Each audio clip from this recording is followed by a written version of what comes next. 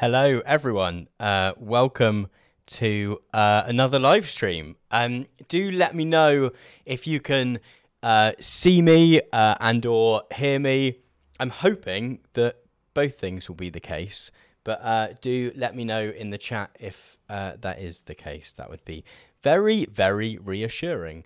Um, thank you so much for joining me. Um, I'm always, whenever I uh, well, whenever I do live streams, but particularly when I'm like, oh, cool, I'm going to do that uh, on the uh, on the live channel, so that I don't, you know, bother uh, bother anyone who doesn't want to uh, see them. Uh, then uh, I'm always like, oh, I don't think uh, I'm very pessimistic about who's going to rock up, but uh, I'm I'm very glad that we have uh, some folks here. So do say hello in the chat if you would like to do that. Uh, several things to do today. Uh, in that we have, uh, I've got a bundle of things which I've jotted down and put my notebook somewhere uh, to, to, to to address some things that I thought might be interesting to chat about. Um, more than happy to uh, take suggestions from the from the chat as well if people have got uh, things that, that you want to chat about as well. Um, and then at some point, I have got to play. Uh, this cost me seven pounds uh, and ninety nine p. Um, I'm mildly excited uh, and mildly absolutely not excited. I, I have very. Uh, I'm not entirely sure what my expectations for this game are.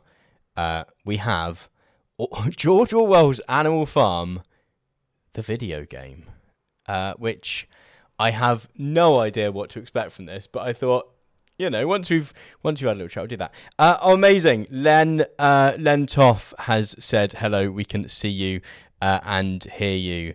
Uh, thank you so much for for that reassurance, Len, and thank you, thank you for joining me. Um, yeah, I, I did I did an- another one of these streams. Uh, what was it? Last week or yeah, no, it would have been last Thursday that I um did one of these uh, for the first time in in a little while again. Uh, and they're always good fun. They're the they're the kind of thing that I'm never too sure how they're going to go, but um, but actually I always uh, really really enjoy them. Um, there's a couple of topics that I wanted to kick off uh, by talking about this week.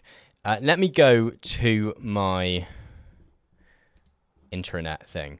Um, so there's a couple of topics that I wanted to start talking about this week, which are ones that I have covered in uh, videos uh, in relatively recently, you know, in the in the last couple of months, um, but that have flashed up for whatever reason in the news again uh, lately.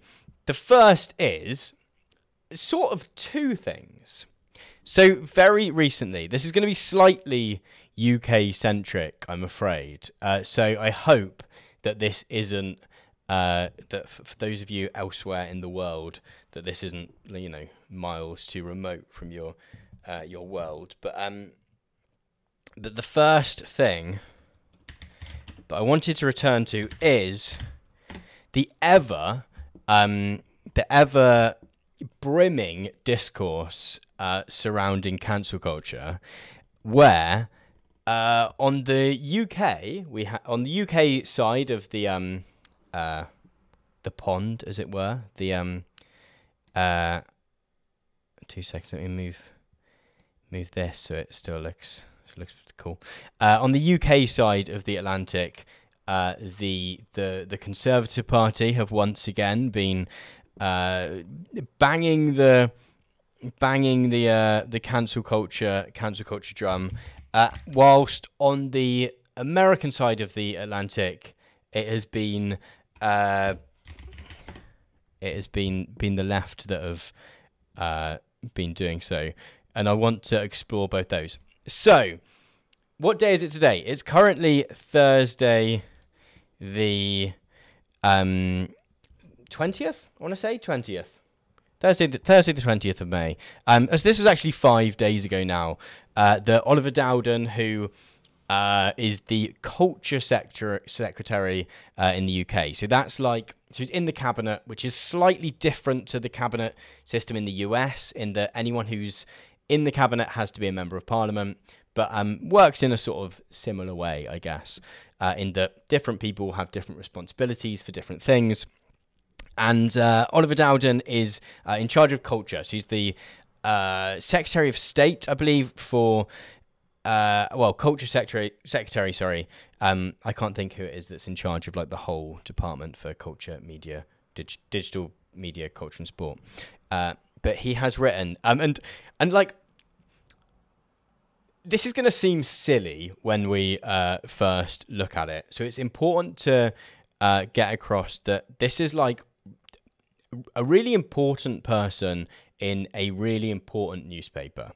Um, so the Telegraph being like, you know, one of the most circulated newspapers in the UK, uh, and Oliver Dowden being a senior member of the government, has written an argument, uh, written an article which begin, which is headlined "We won't allow Britain's history to be ca- cancelled." I want to take not a Maoist but a Moreist approach. It's clever uh, to heritage. I want more statues erected, and this comes up again. This guy, this guy, um, coming on. Someone in the last uh, stream last week mentioned uh, the sort of statues debate, which has been brimming in the UK um, and very much echoes some of the statue debates in the US surrounding like Confederate statues, but tends to be about uh, sort of slave traders. Um, Oliver Dowden has come out in favour of more statues. Uh, that's that's the solution to our problem, uh, and more chapters added to our national narrative, which is something which he says he's keen on, but I'm not 100% sure. Uh, I, I want to read some of this because it's just got like amaz- some amazing lines in it. Uh, I'm proud of our nation's heritage. I don't say this just as culture secretary, but as someone who happily spends their weekends exploring every part of it. Which I'm, I'm sure being culture secretary means you sort of get the opportunity to do that in a way that lots of people don't. Um, I'm not alone in this passion. Our heritage unites us as a country and draws visitors to our islands by the millions. Uh, and as someone whose love of heritage was learned, not inherited, I am deeply committed to ensuring it is available to everyone. Uh, and I, I particularly like his his. I don't really know what he means by this idea of like learning your love of heritage rather than inheriting it. Is that like? I know obviously uh, we're currently in an era where conservatives like to pretend they're a lot more working class than they are. Um, but generally that's not what we're talking about when you know it's a form of inheritance i guess but not one that people are quite so uh, what's the opposite of snobby? Um, i don't know. Just quite so bothered about. Um, but when so so when coronavirus threatened to decimate the cultural landscape uh, he stepped in. So he talks about this of cultural um, recovery fund uh, and how he's, he's they've given a load of money to cultural organisations, which is, is good in many ways. Um, but a lot of it is coming with strings attached. Um, so uh, then we get to our sort of confident nations face up to their history. They don't airbrush it. Instead, they protect their heritage and use it to educate the public about the past which is good, right? That is actually the the thing to do, and that is why when we have you know statues of slave traders, whatever, um, it's often suggested you know you could put a plaque by it. That would be a, a compromise, uh, but it's generally not a compromise that uh, that the Conservative Party in the UK are all that interested in. Um, uh, and you know he take he obviously uh, quotes some polling that um, in particular black Britons uh, don't want to see our her- heritage pulled down or hidden from view uh, because, you know, that being because a lot of this debate is uh, surrounding uh, slavery and statues of slave traders and other ways in which um, slavery sort of has weaved its way into the UK in the past. Um, uh, and where is it? Where's our more statues thing? I just really enjoyed. Uh, oh, where is it? Where is it?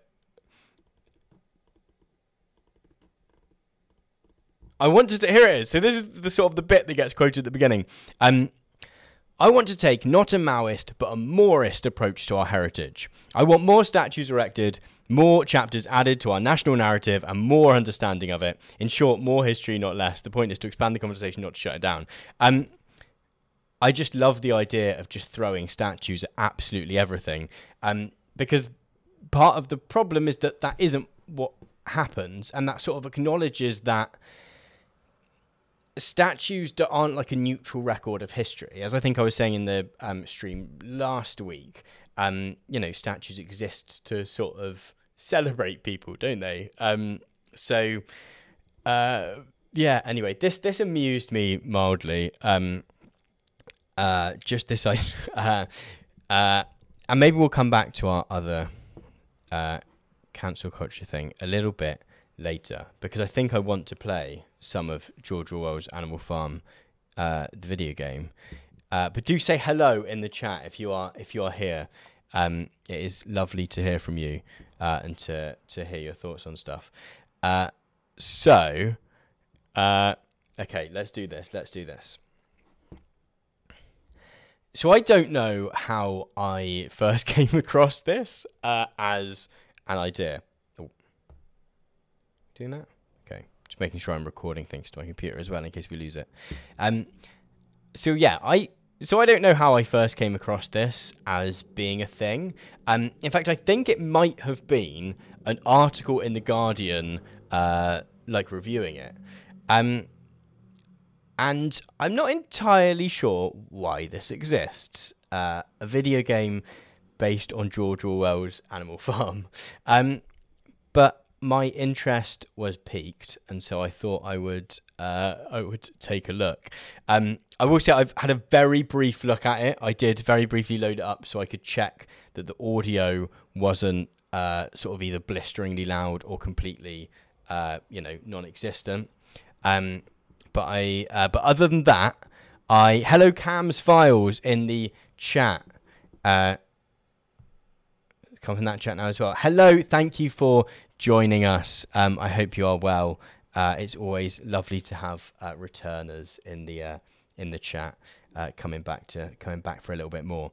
Um, but yeah, so uh, so so this game, uh, I think yeah, popped up in a Guardian article, I believe, like a review of it. And I mean, the reason it exists is because um, this year in the UK is 70 years since the death of George Orwell. So that means that uh, anything that was created in his life, it's now possible to uh, sort of recreate, uh, well, to, you know, adapt into something or to, you know, sell a copy of 1984 or create a film of 1984 uh, or create a video game of Animal Farm. Um, I don't think uh, that. He, I'm pretty sure that the copyright is slightly different in other countries. Is that correct? Um, someone might know in the chat and be able to tell me. Oh, hello. Hello, Osama Hamada. Thank you for joining us. I believe I believe you were here last week in the uh, in the other in the live stream on the other channel. So thank you, thank you for being here as well. Um, some familiar faces is always nice. Um, what did I want to loot? Does anyone know? Maybe someone knows in the chat, but I'll also have a quick look. Uh, Zombie Ruler won't be in the chat much as has been in the background, but I'll do some horrible PhD paperwork. Oh, sorry to hear that you've got the worst part of any sort of studying thing, whether it's PhD or whatever. Um, although particularly I found with the PhD is is not is the yeah the weird bits of paperwork you suddenly have to do um, where you're like uh, updating people for um, uh, you know like things where you have to be like five out of ten for this year is how happy I am on how things went this year. Um, and being semi sure that all that stuff's going to go in a folder and no one's ever going to look at it again, but it still takes you, um, you know, multiple, uh, multiple hours to fill out. So all all our thoughts and solidarities are uh, with Zombie Ruler 0123 while they um, do that. Uh, and hello everyone else as well. Hello Foxgloved. Uh, hi Tom. First time catching you live. Well, thank you for joining us. Um, yeah, it's been a little. It's I took probably a year's break from doing live streams after doing a little run of them. Um, but I used to really enjoy it. So after I did the live stream for uh, the 200,000 subscribers and the main channel, I thought I would, I thought I'd do it again. So thank you everyone for joining me, and thank you also for joining us. Q session Lesu. I've probably butchered that, and I'm really sorry. That's my fault for uh, terrible uh, language uh, skills. Um, uh, although it's it's possibly like a sort of super memey name in a different language. Uh, uh, Osama Hamad is saying that I'm right. Is that about? Um, I was. Uh, I'll come to your question in a second, Braden. Is that okay? Because um, I very quickly want to look up. Um, does anyone know what the copyright term in the US is? Because I was trying to think when. Oh, so it is Life of the Author plus 70 years in. Oh, but for works created after 1978. Um, so maybe it is. Uh, maybe Orwell is out of copyright in the US and in the UK and elsewhere. Because I wondered whether if it if it if his work was still copyrighted um, in the US, whether that would mean we'd have a couple of extra years um, before uh, lots and lots of releases. But oh no, but it seems like it might be might be the same. Oh, and hello, Sienna in the chat as well. Hello. Um, in the US, in the USA, pub, works published in 1925 are free just now. So yeah, there must be a little while until. Oh, is it publication date in the US rather than death of? So in in the UK, it's based on like 70 years since the death since the author dies. Um, and hello, hello, uh, Llewellyn Pudding Griffiths. Welcome and welcome. Thank you for joining us, everyone. Um, so yeah, so Orwell in the UK at least, and I think in the EU, uh, as this Guardian article tells us, is out of copyright. Um, so one result of that is, and I haven't seen many ca- many attempts to cash in yet. Um, but one attempt is uh, George Orwell's Animal Farm uh, the video game, uh, which I'm looking forward to playing in a moment. I have no, no idea what to expect. It might be amazing. It might be amazing. I, as I say, I've very briefly gone on it just to check the sound, and it's not like a first-person shooter or a or anything. I it feels like a sort of storybook. Um, we'll come to that in a second though, because we do have a question in the chat. So, uh, what do we have? Uh, God damn it. Philosophy, new, new philosophy tube in 15 minutes as well. What an evening. Oh, I hadn't seen that. Uh, Abigail has a habit of putting things out. Uh, if if if I if I plan something, she'll put a new video out. Uh, but um, so yeah, Disney might have done something in the. Uh, that's not intentional, by the way. I'm joking. I'm joking. Uh, uh, Osama Hamad is saying, I think Disney might have done something to the copyright law in the US to keep the rights for Mickey Mouse. So, yeah, that's been a big motivator uh, in the US for making copyright longer and longer and longer, has been because, yeah, because Disney don't want to lose the rights to Mickey Mouse. Um, although, uh, I think it's sort of looking like they might not be able to extend it any longer. Um, and so, and one result of that might be um, that, and that well, and that's length something for.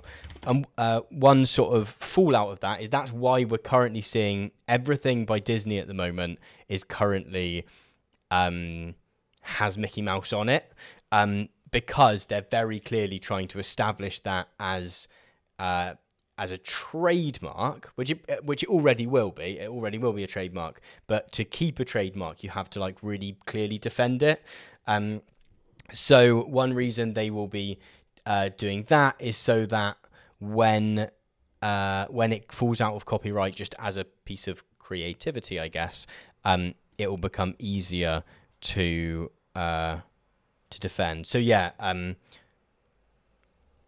uh, Llewellyn Opening Griffith saying in the chat that um that the original version of Mickey should be available in a year or two.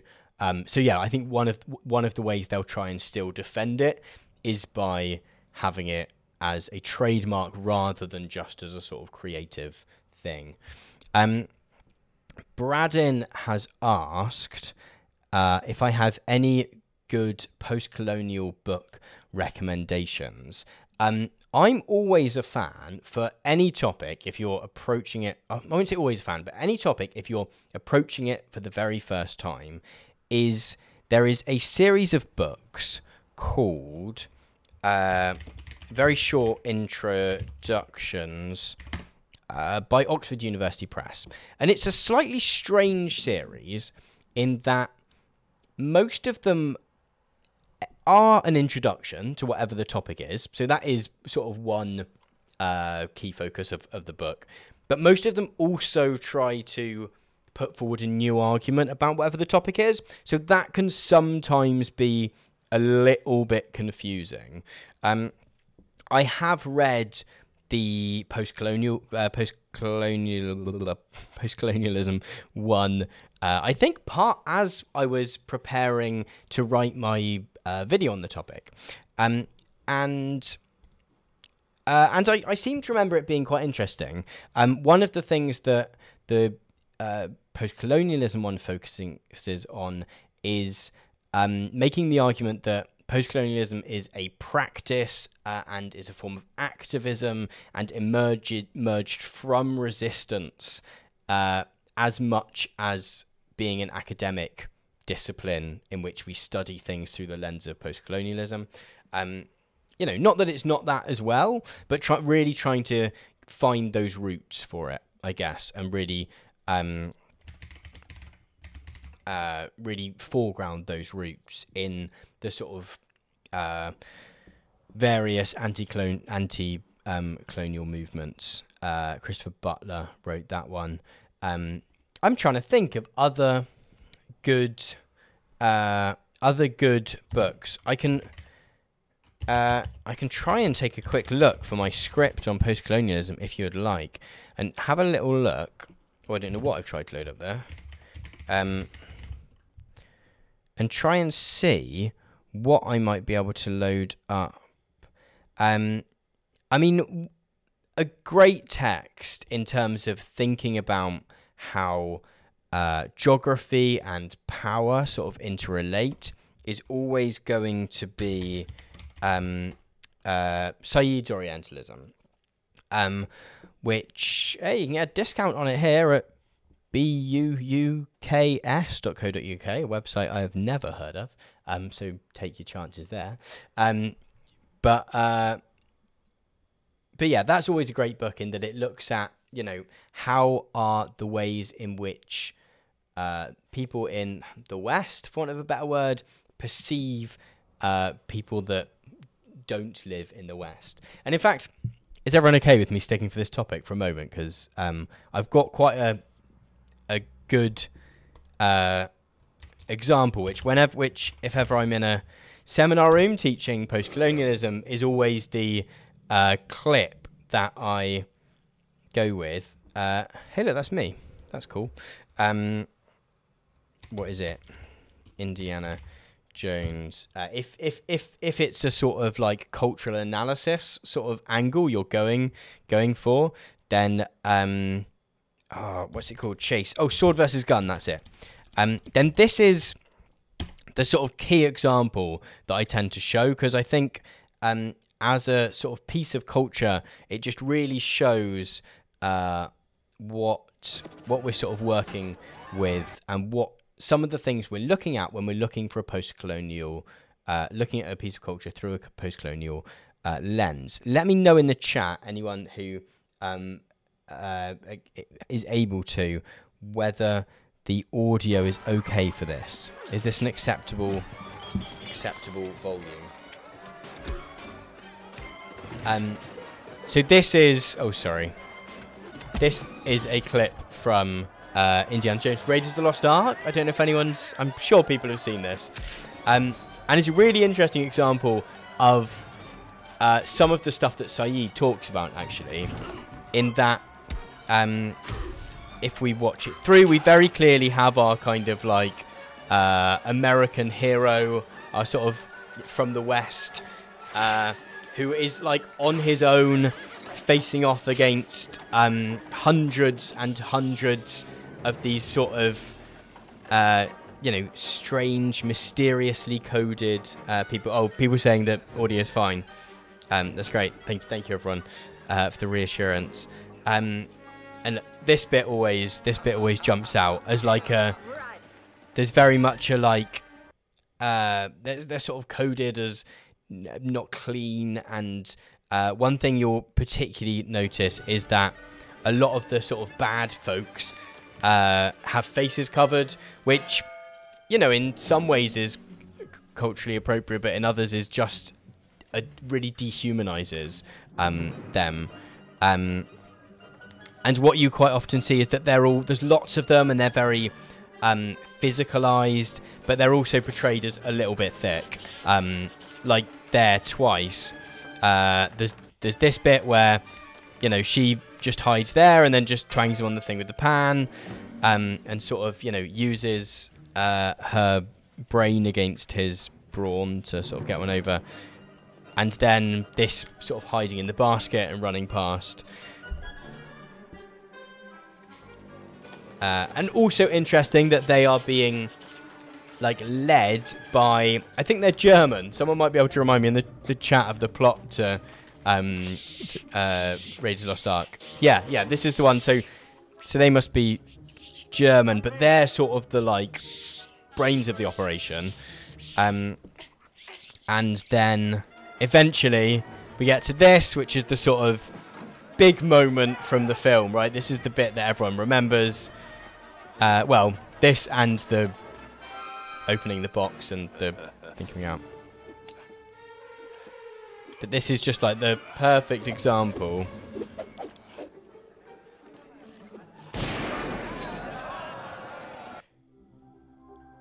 Where it's like, look at all this strange stuff that this other guy's doing, and then, you know, uh, the uh, sort of technological brilliance of the American to just pull out the gun, shoot, and just casually walk off. Um, uh, what Sienna's saying, also the relationship, the relation between them and the Germans uh, in the film. Uh, the gaming den saying, and there's a French dude too.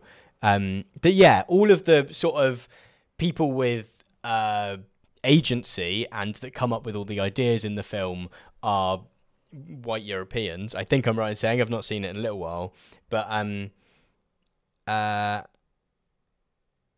so it's so the film is sort of set in. Where is it set? That's a good question, actually.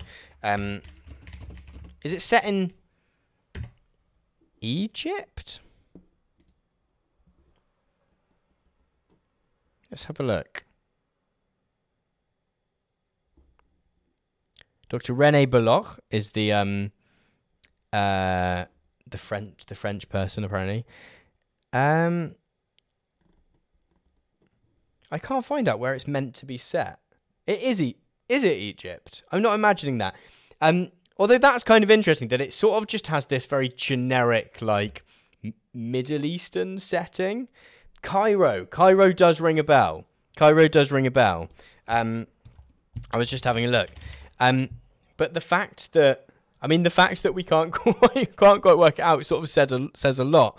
That we sort of get the um that it's more about creating a sort of general vibe of otherness and um mysteriousness and danger than it is about actually saying anything about um about Egypt I- itself, and so it becomes just the backdrop to the adventures of uh, Indy and uh, whatever any whatever any of the other characters in this one uh, have.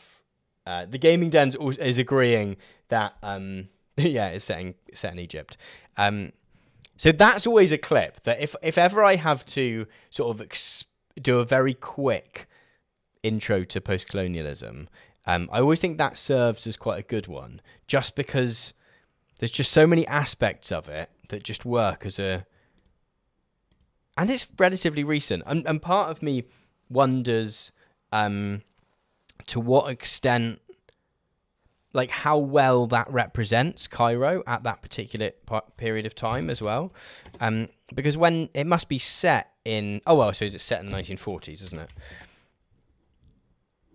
Um,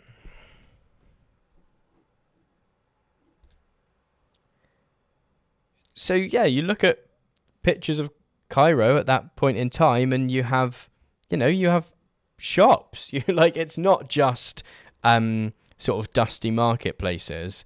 Uh, so it's sort of yeah. So I always think that's a really interesting example of how of a sort of text which carries through a lot of the uh, those sort of colonial ideas.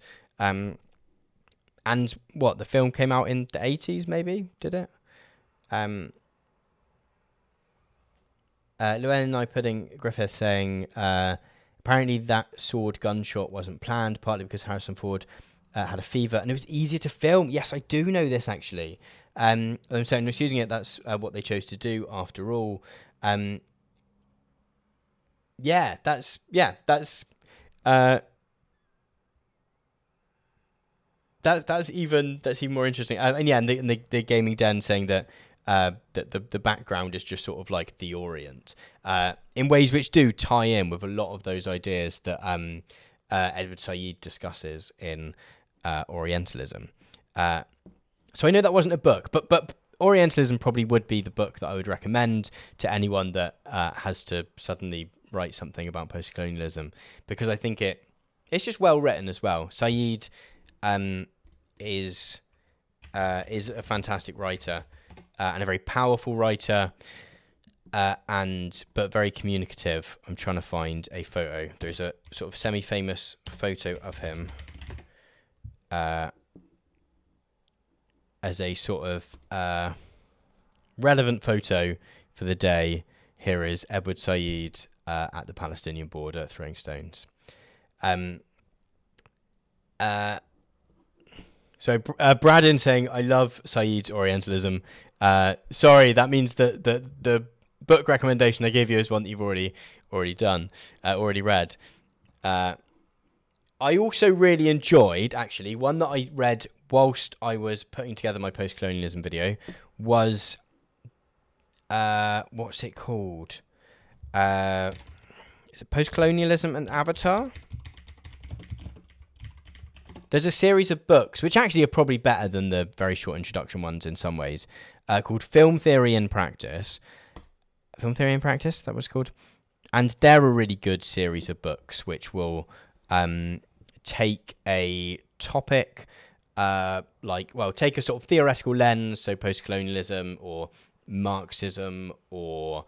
Uh, I'm trying to think of other ones like feminism. I think I'm pretty sure there's one. Oh, and there's a there's a uh,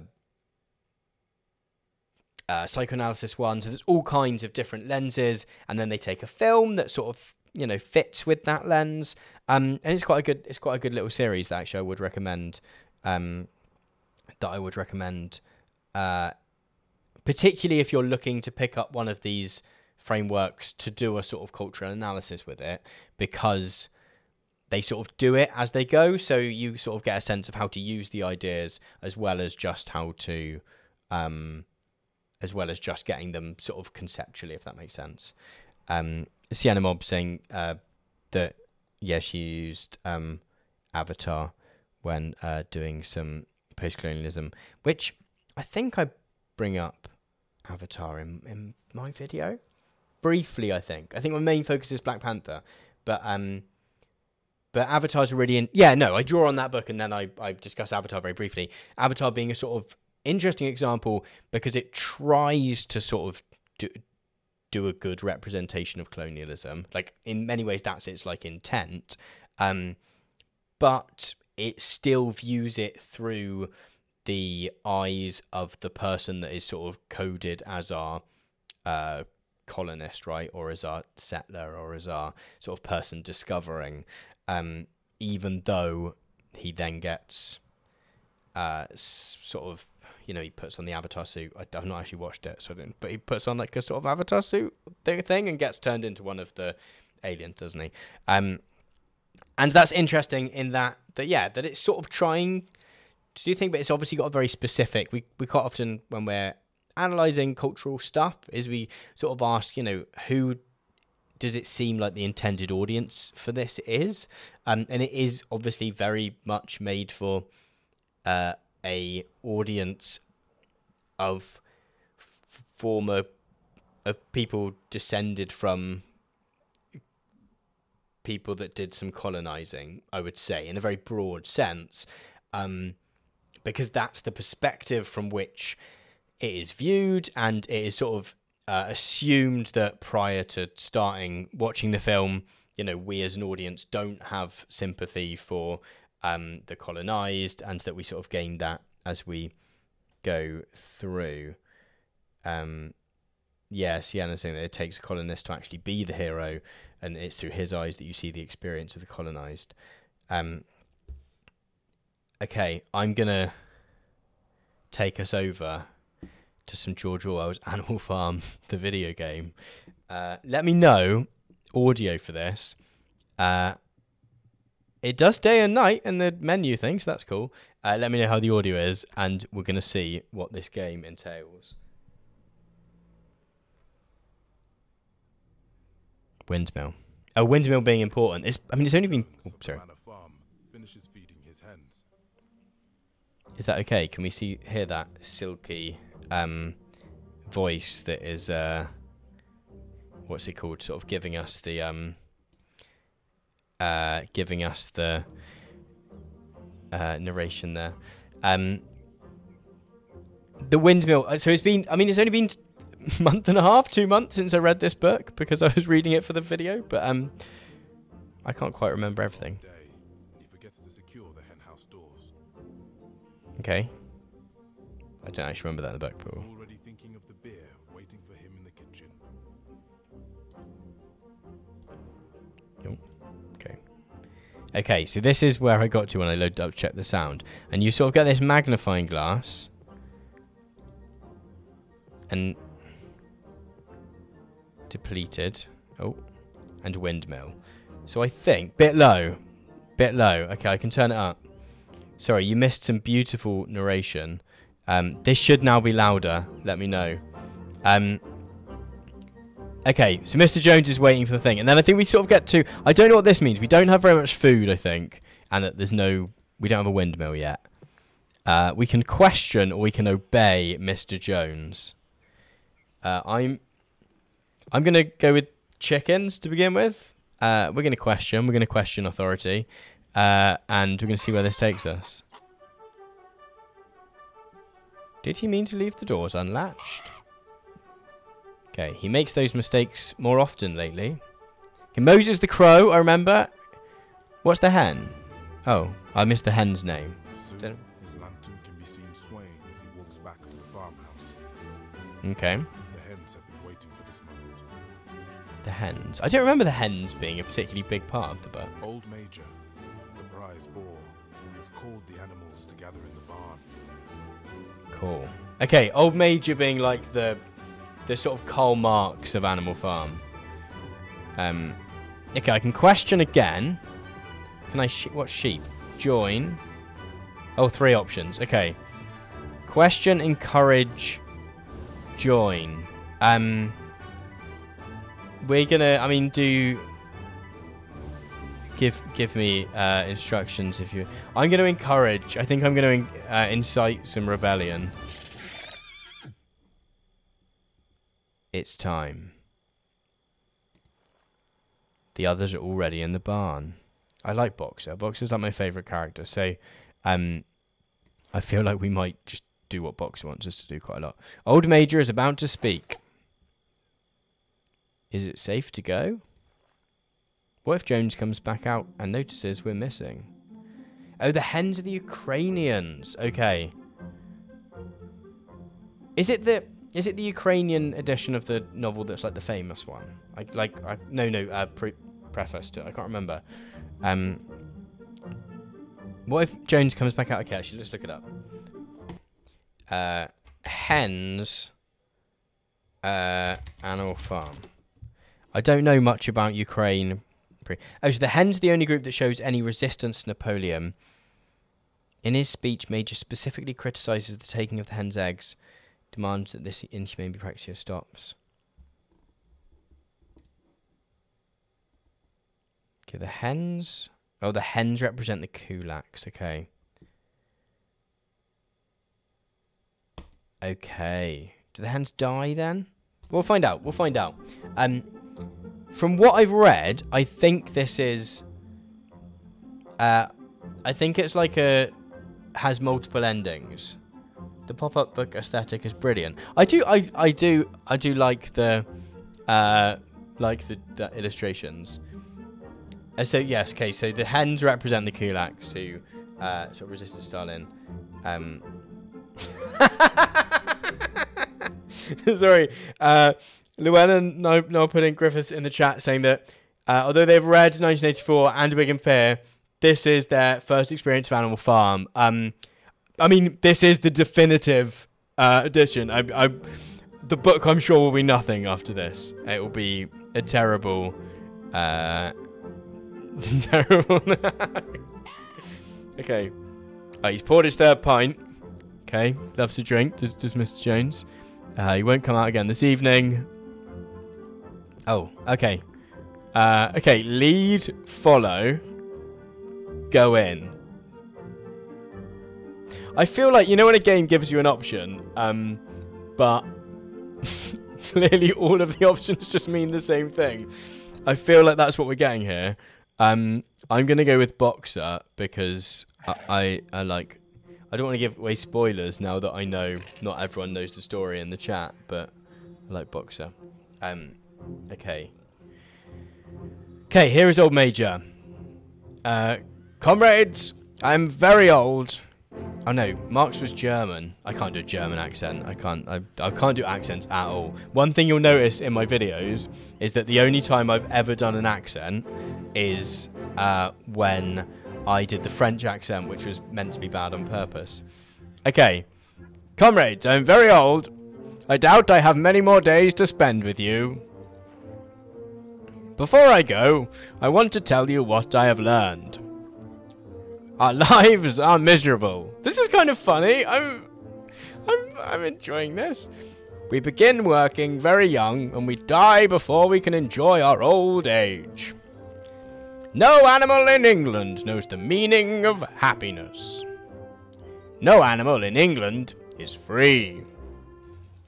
Uh, Sienna saying, I love how the crow is named Moses and represents religion. Very smart. Uh, I feel like Sienna, you are very much the Animal Farm expert in the chat today. Um, so please, please do give us all your interpretations. Um, I'm trying to work out what's an option. Is the cat an option? Oh. Oh, okay. Dogs can disagree. This must be Snowball, I'm going to say. Agree. Doubt? Is the chicken a hen? Sorry? No, okay. Um, agree, disagree. I'm going to agree. No animal in England is free. Thank you very much. Napoleon, here ha! I do have to do different voices for them. Um, I can't do voices. We are only given as much food as will keep us alive. While Jones and his wife eat and drink. I'm not. I'm not uh, and sleep in beds. Squealer! Uh, listen! Humans are the only creatures that consume without producing. Do we? I make I make YouTube videos, thank you very much, Mr. Karl Marx, old major. Um. Uh. They give no milk. Oh, okay, yeah, no, I see. Um. Well, I'd, I'd question that. Uh, they lay no eggs. They're too weak to pull the plough. I would be too weak to pull the plough. Oh, okay. Okay. Agree is now sheep. No, is he not an option? It's quite diff. The controls are quite difficult. You have to get very exact onto things. Okay. Be brave. I agree. I, I'm up for inciting. I wonder if there is just a really quick uh, ending whereby you just don't have the revolution in the first place. Uh, we bear we we bear new lambs every year. They all go to the butcher. Humans do nothing for us. I can do a sheep. Sheeps are fun. Uh, we animals could manage ourselves much better. At last, Old Major explains his dream. Okay, here we go. Here is the animal version of the Communist Manifesto. Of a song he barely remembers from when he was a piglet. It is the anthem of animals who long to be free. Sorry, it's the Animal Internationale, isn't it? Beasts of England. Beasts of Ireland. Beasts of every land and clime. Oh, okay.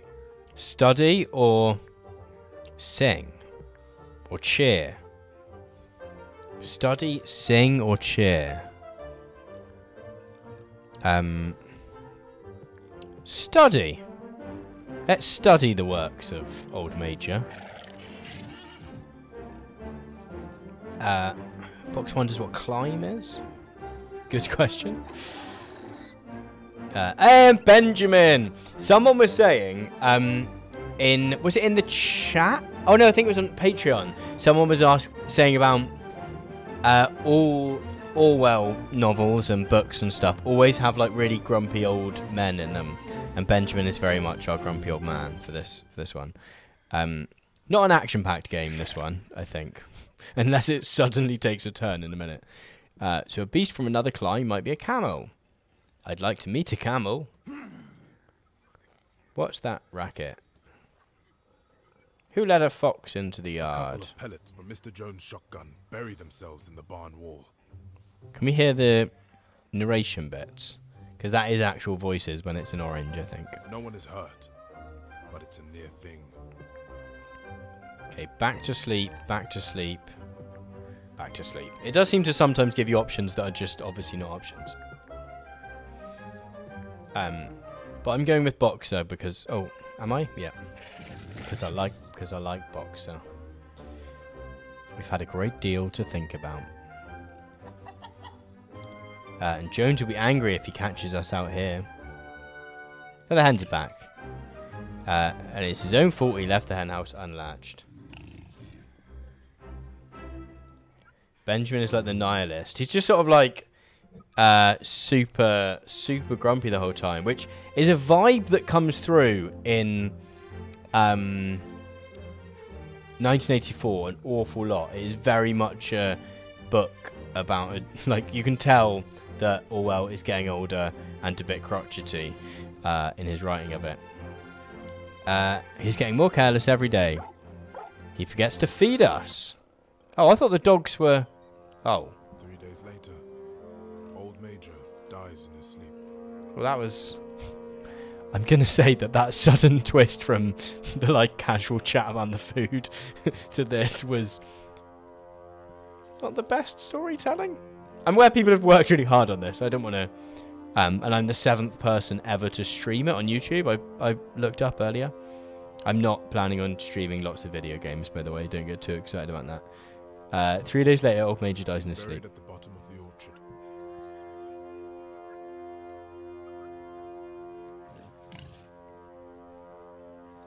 Old Major's rebellion must still take place, even if we don't live to see it. So Snowball is like Trotsky uh, in this uh, analogy. Uh, will come in the time of our children. Oh, does Napoleon want to put it off? Or our children's children? Cheer. Is that the only option I've got? Cheer? Cheer or cheer? A lot of the time you seem to get options in this game that are not options. Let's go for the sheep this time because we've done a lot of... We've done a lot of boxer. Um, we are ready. The time will come.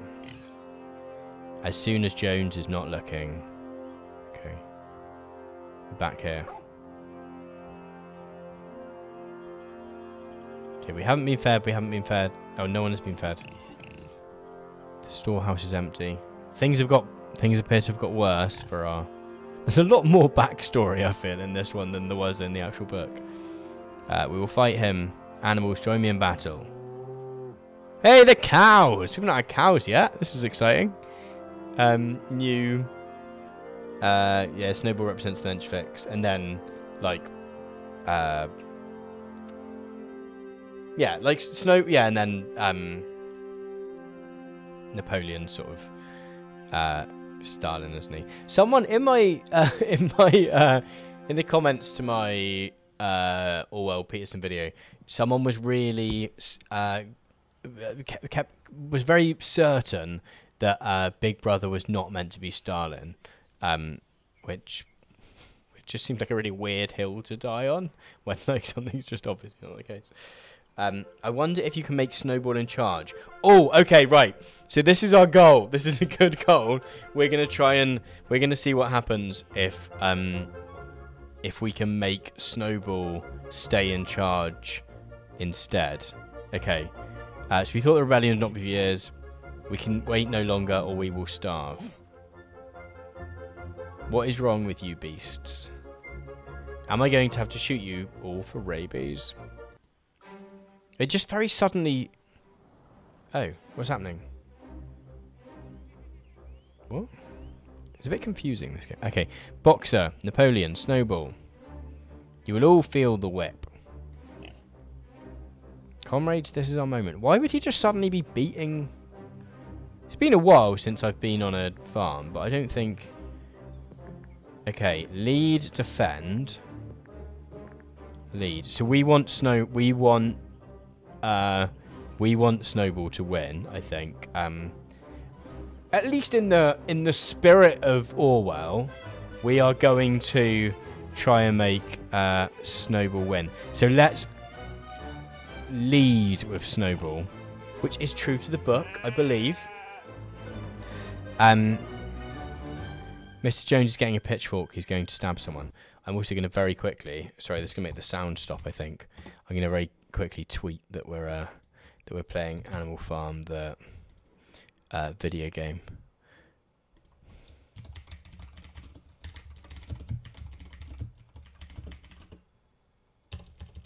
Sorry, this is this is boring to watch. Uh, I just forgot to tweet the. Uh, forgot to tweet. Forgot to tweet the stream. Uh. Okay, I've done that.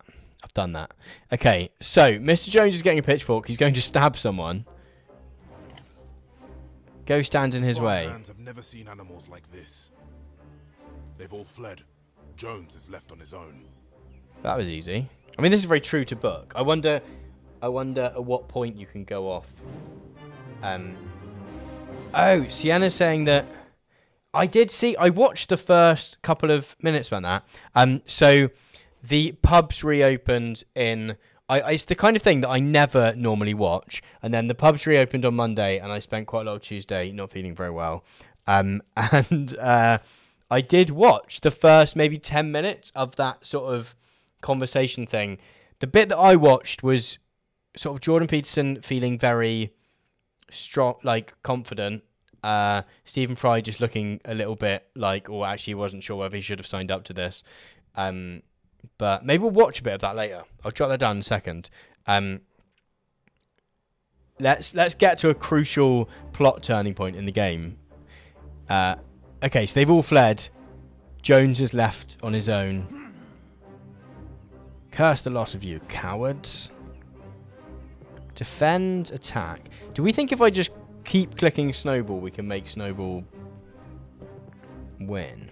Do we think? Uh, attack. So what is it? Attack, defend, attack again, defend, attack. Okay, attack. I wonder if it does make a difference who you. This is thrilling, thrilling combat uh, mechanics in this game. Let him feel the full wrath of the animals. Jones runs away. So have we done it?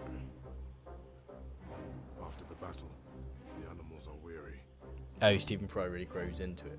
Okay, maybe we'll get a chance to watch get a chance to watch some of that in a little bit. Um, because I think I read that I think that the game is about three hours, so I was thinking I might play like maybe an hour or so of it today, and then do some others in do do do the rest of it in some future weeks. Okay, the animals are worried, but I think we've won. Uh, Colonel Calmunism is saying, I have to leave, but just wanted to say I really appreciate your videos as a general jumping off point uh, to more learning. It's joy to catch your streams. Thank you for all you do. Thank you. Thank you for joining us.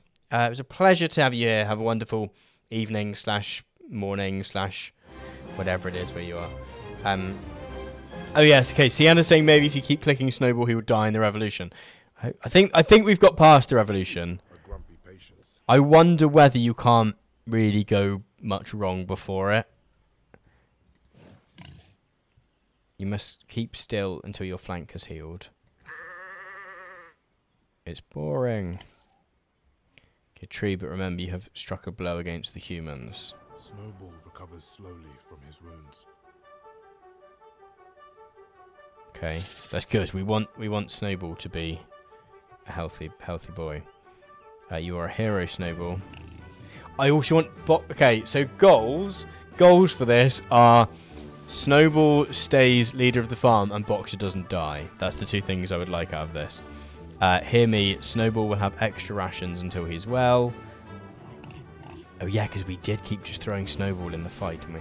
Uh, that was a costly battle. Next time Jones will be better arms. Look, Snowball looks fine here. Oh, you can't see where I'm clicking. Snowball looks fine in the um picture and not in the... We must prepare for it.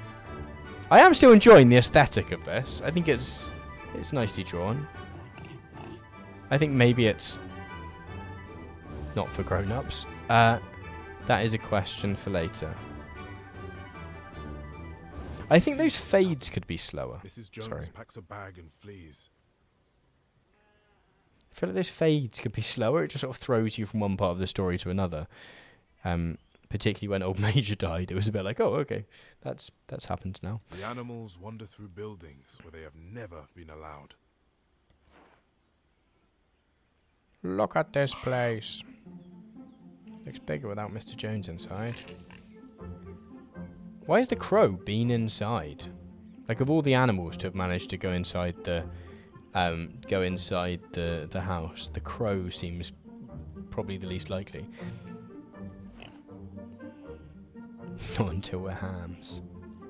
That's a funny joke. Okay. Oh, so you can see it with the mouse when it's like this. You just can't see it. Okay.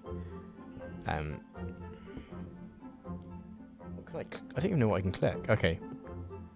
Kick the bear. Mourn.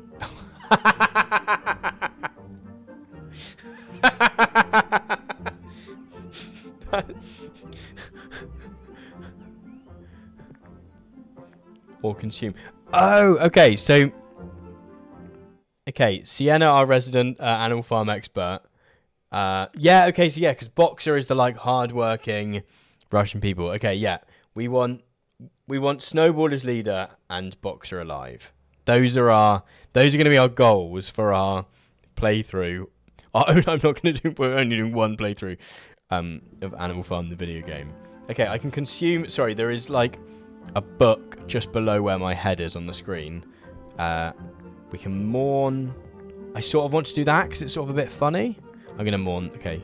No, no, we're going to read the book. Leave the books to me. Yes, read them, Snowball.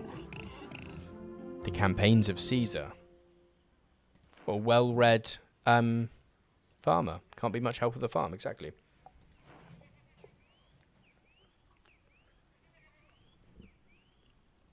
There's strong vibes of Farmer Jones would not have read this.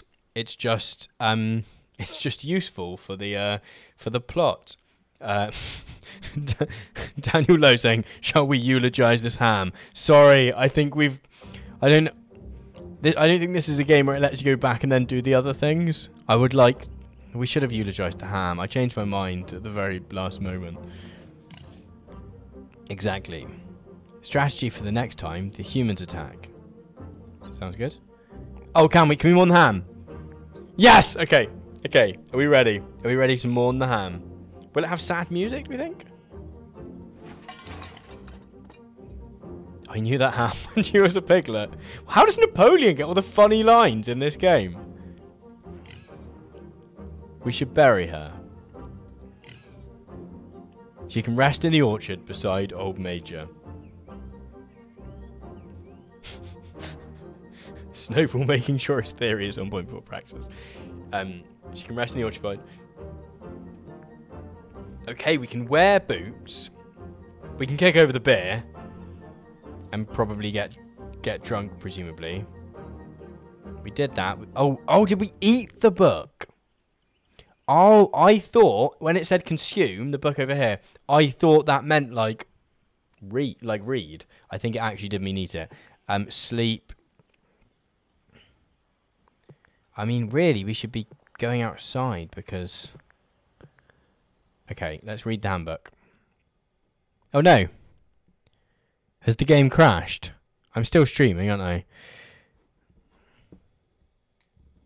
I'm gonna have to load up Steam again. And I hope it saved our progress.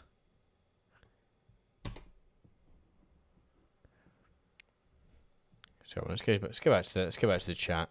Um, eulogizing the ham apparently just crashes the game.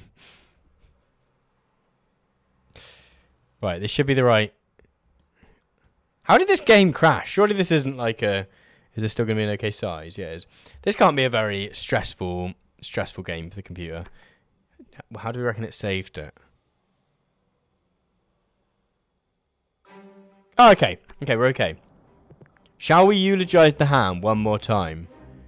Uh, Quantum Fire saying, "Yo, yo, yo, dude, where's the bass?" Is it not? Do we need it louder? I can make, I can make the uh, the game louder if that's if that's helpful. Um. Okay. Let's mourn the ham one more time. I knew that ham when she was a piglet. We should bury her. She can rest in the orchard beside old Major. Okay. Let's read the handbook and hope this doesn't. Oh. Oh. Okay. Okay. This seems to be more of a game now, which is nice. Okay. At least three animals have been executed. Would be bloodbath. Oh, is this different? And many animals have confessed to treason. Each of the seven laws has changed. Dogs teach new beliefs to political dissidents. The song beasts of England is outlawed. Birds oversee behaviour on the farm. Okay, so how does this work? So we've got um this I think is this like the different endings we can have. This is Oh, so there's loads of different endings, it seems. This is who's still alive. Major's dead because we couldn't save Major.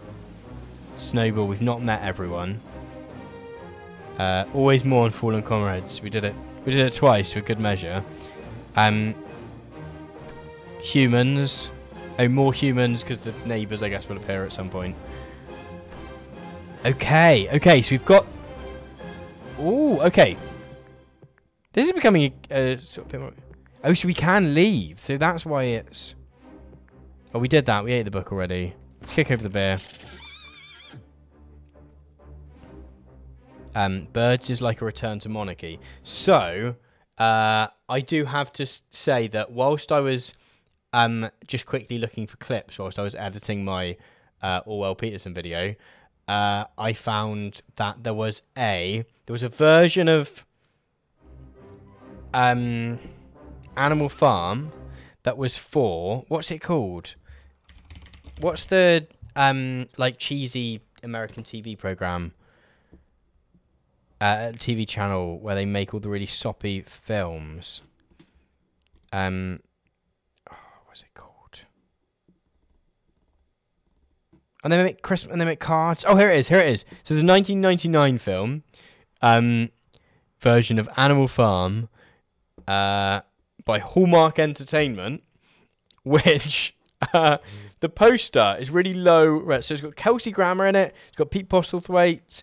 Um, you know, proper Peter Ustinov is a very sort of famous British theatre actor. Pete, uh, Patrick Stewart. Um, uh, and the poster could be for anything. This could be for Babe Pig in the City. Uh, but in the Wikipedia summary, uh, where is it? So the Wikipedia uh, Hallmark, sorry, Quantum Fire saying Hallmark. See how there's no PragerU. Um, uh, oh, we might chat about PragerU at the moment. They've had a, a wild week of fun tweets. Uh, well, all, all fun, fun tweets. Um, so it ends at the end. Uh, sometime later, a motor car arrives with a benevolent farmer, his wife and children, the new owners of Manor, of Manor Farm.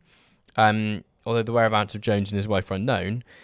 Jessie remarks she will not let this family make the same mistakes of, on the neglect of Jones or the abuse of Napoleon, and uh, is aware the small remnant of animals will now have to work alongside their new human masters to restore animal farms that will finally be free at last. Um, oh, Gina, Gina W saying my aunt rented this from the library for us when we were kids because she didn't look beyond the talking animal premise. But I mean, they've given it a happy ending. They've they were like they were like, oh, this, this seems a bit of a downer. This Animal Farm book. Um, let us let us give it a a fun sort of upswing at the end. Um, uh, so yeah, so there is a film edition which does have a happy ending. Uh, so might ours with a bit of luck. Okay, Mr. Jones was always meaner after a drink. Let him drink somewhere else. Okay, I do want to consume the book because I want, so because I want Snowball to find the books. I think because we want we want Snowball. So should we not click everything? Do you think? Do you think Molly would like these? Most likely she'd look like a fool. Benjamin's still around. Uh, no animal should wear human clothing. Okay, let's check out sleep. This looks softer than hay. Keep away from it. No animal. No animal in bed. Okay, Na- uh, Napoleon is keeping uh, is keeping to the rules of Old Major for now. Okay, let's exit. So I guess we can probably come back to that book. Not a single human being remains on the farm. Well, um, the gaming den saying in the chat that capitalism just needs a responsible owner after all. But like, Mr. Jones is like the Tsar, right? So, so I guess it's like a benevolent monarchy is the the hope that the hallmark that he gives us. Maybe at some point, maybe I should make that like a Patreon goal. It's just like a fun, just taking the mech out of uh, Animal Farm. Maybe just doing Animal Farm media, like both doing the, the the expanded Animal Farm universe of um both Hallmark and uh and whatever ending we manage to get from this game. Um, Max Gray saying, "Wait, what is this game? This game is Animal Farm, the video game, Max. Uh, the which for some reason exists. Okay, not a single human being remains on the farm. Manor Farm is now ours. Perfect. Uh, Sienna Mob saying, is this like the home menu? Yeah, it seems like we come back to this quite often. Animal Philomene saying Animal Farm Cinematic Universe. Um, Tamworth Pig. Robert Peel was P- MP for Tamworth. Uh, yeah. Okay. uh, can you? I don't really know what the rules are with streaming, but like whether they'll take stuff down. Can I just watch a whole film? I presume not. Because if that was an option, I would like to just watch um, the Hallmark version of Animal Farm. Uh, there is a great deal to do now that Jones is gone. We will easily do better than he did. Yes, we will, Snowball. Um, we are gonna. Okay, okay. So we can go to our handbook and we can see. I mean, it's not gonna. So are these chapters of the book? No, because there's not this many chapters of the book. Okay, completionist. Every Animal Farm has seen every possible outcome. Oh, so these are like achievements rather than different outcomes. Okay. Animal Farm maintains its original laws. That's what we want. Um.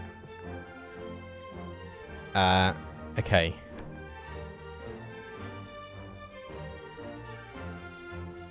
Uh, Max Gray saying this is great. Uh, perfect. I've been arguing with a Zionist in my PhD program who wants to leave our union over it sponsoring a Palestine rally. I need this in my life. I mean, this is very much all the horrific things happening in the world at the moment. Uh, I feel like playing Animal Farm, the video game, which, which from aesthetic I think might be for children, uh, is nice and is nice and chill. Empty. So I think like that this is some kind of like food store, and that then because it says like if you put the mouse over here, it says like no windmill, no defense, no windmill. Um, complain, worry. Complain or worry is all we can do. I'm gonna worry. What's her name again? I mean, we'll find out, won't we? Clover, that's it. The cows have not been milked since yesterday. Oh yeah, that. Oh yes, because this is one of the first time that um Uh, Max saying actually it's over a charm, which I agree with her criticism of, but uh, she way overstates harm in a way.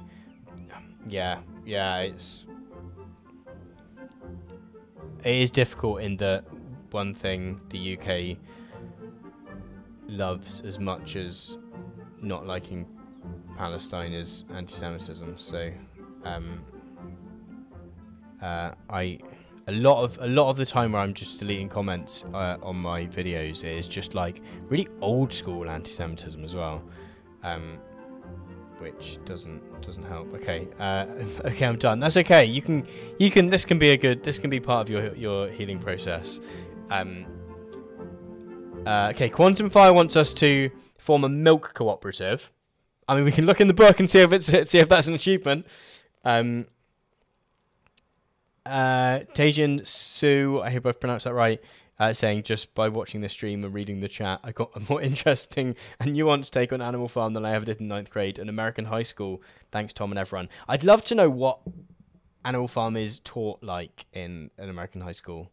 Like, I, I suppose you can explain it, but you to like, yeah, watch a class in action. In action. Um, so Animal Farm the animation was the first ever British animation, uh, and it was sponsored by the FBI or the CIA, I want to say. Um,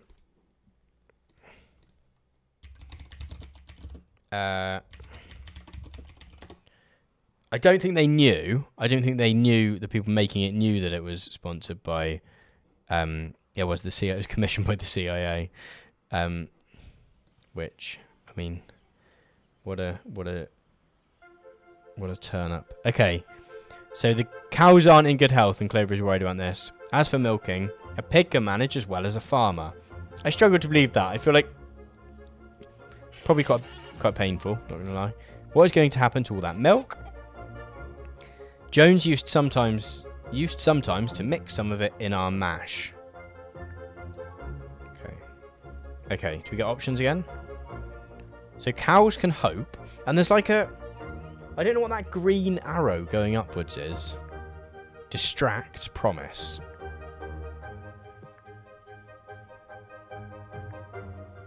Promise? Do you think we can over-promise if we're... If we're Snowball? I don't want to put Snowball... I'm going to promise. I'm going to promise. Uh, oh, Max saying you never had to read Animal Farm. I see anything in America and see anything did in the UK. Oh, uh, yeah. Um, yeah, I don't know if I ever had to. I don't know if it was ever... Um, I do, yeah, I don't know if I ever did like a lesson or something where I had to look at it. But... Okay. Snowball saying we will plan an equitable way of distributing all resources. Come on, Snowball. Uh, it will be very different from the way things will run under Jones. Let's make it a point of honour to get the hay in faster than Jones and his men. Yes, Snowball. Food we gather will feed us throughout the year.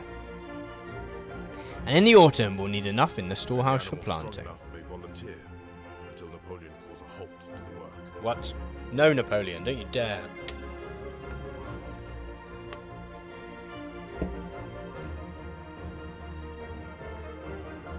Okay. Oh, okay. So now we get different options where sometimes the food goes up. So we can click work and the food goes up. We can cooperate. Oh, it's going to give us really simplistic choices, isn't it? Where...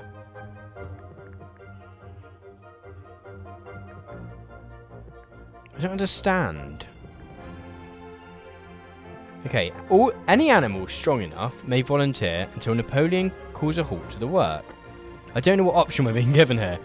Um, Boxer gets a down arrow if I work him. So I think I don't want to... So I'm going to ask Clover to do it instead. Feminism. Uh, okay, Clover, here let me. Boxer and I always used to do these together. With Clover's hard work, there is more hay in the store. Okay. Oh, so... Okay, so Napoleon still wants us to stop.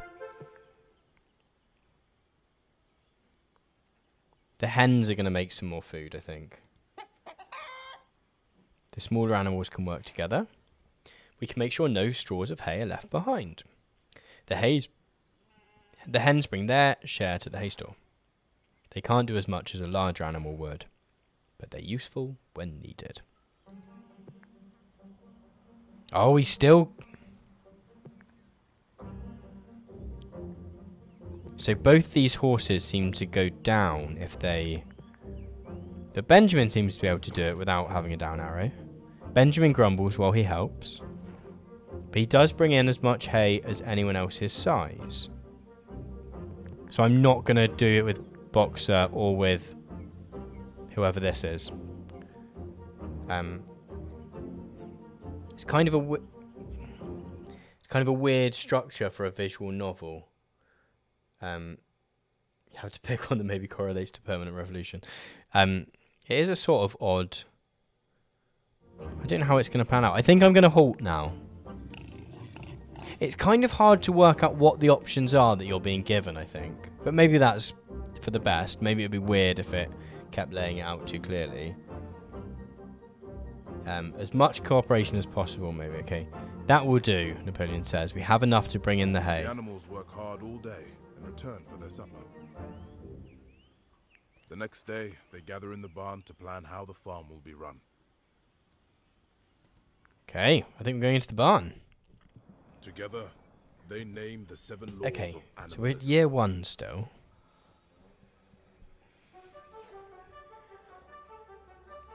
Okay, here's our laws. The first law says whatever goes on two legs is an enemy.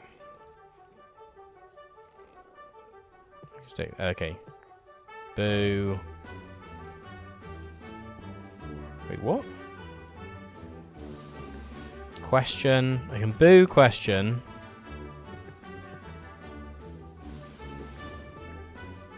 Or I can... No? No, they're not options? Sort of hard to work out what's an option sometimes. Um... Boo. Sure, is boo... I don't know whether boo is booing the rule or booing the... Quantum Fudge is saying, just kill the pigs now before things get bad. No, we want... We want Snowball, we don't want Napoleon. Okay, Boo was... um booing the humans rather than the law, the rule itself. The second law says whatever goes on four legs or has wings is a friend. Dog says, what about rats? We have four legs. Oh, we've met rats. That's a new character. But you're always needing to be chased off. Old Major considered rats to be comrades. Of course, Old Major did. Everyone, everyone was on board with uh, Old Major. He invited them to the meetings. We will vote. Should the rats be allowed to stay? Do I just get to decide what the vote outcome of the vote is, presumably? Yes. Yes. Yes. Both. What? No. Let's have the rats. We're not. The rats are creatures as well.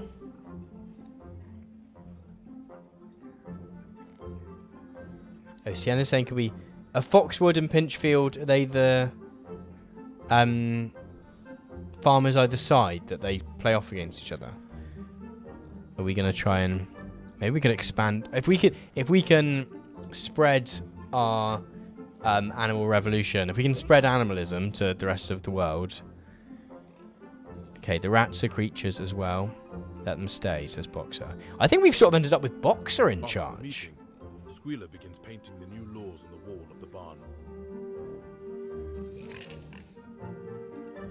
These laws come to us from Old Major and from our own difficult experience. Commit them to memory. Ah.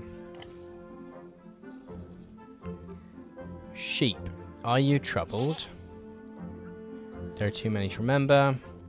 Make an effort.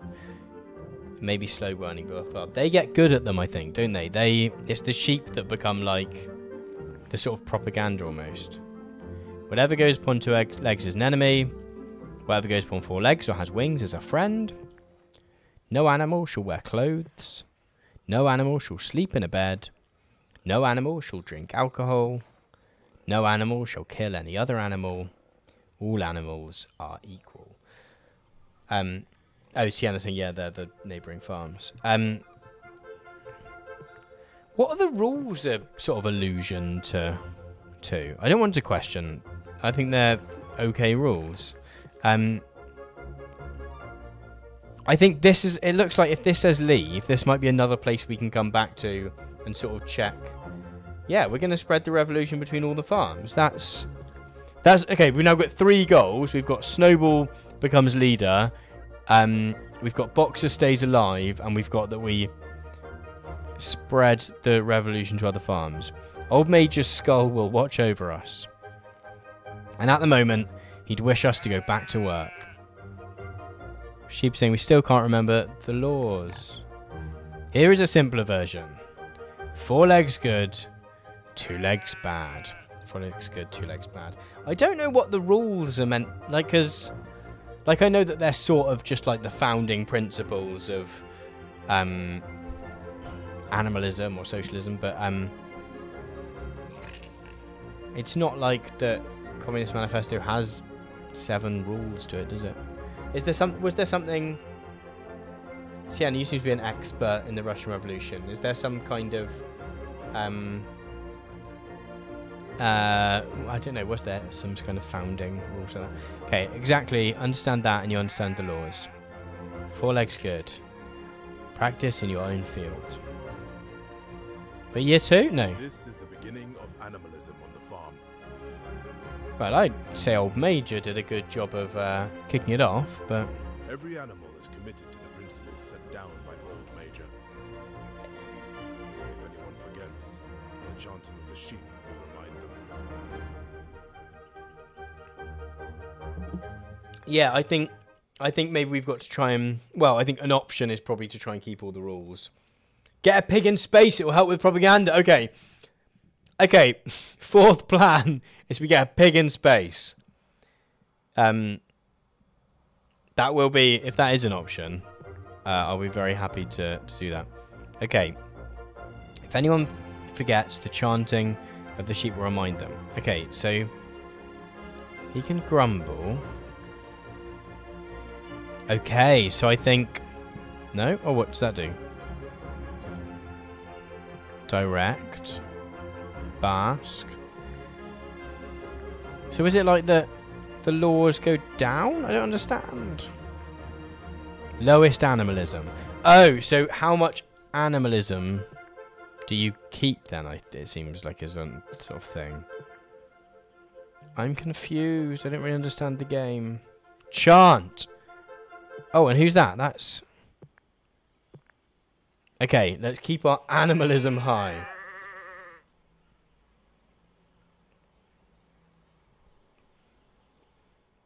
So, uh, in my high school, this exact scene with the rules of animalism was interpreted as restricting the animal's individualism and a sure sign that socialism equals authoritarianism.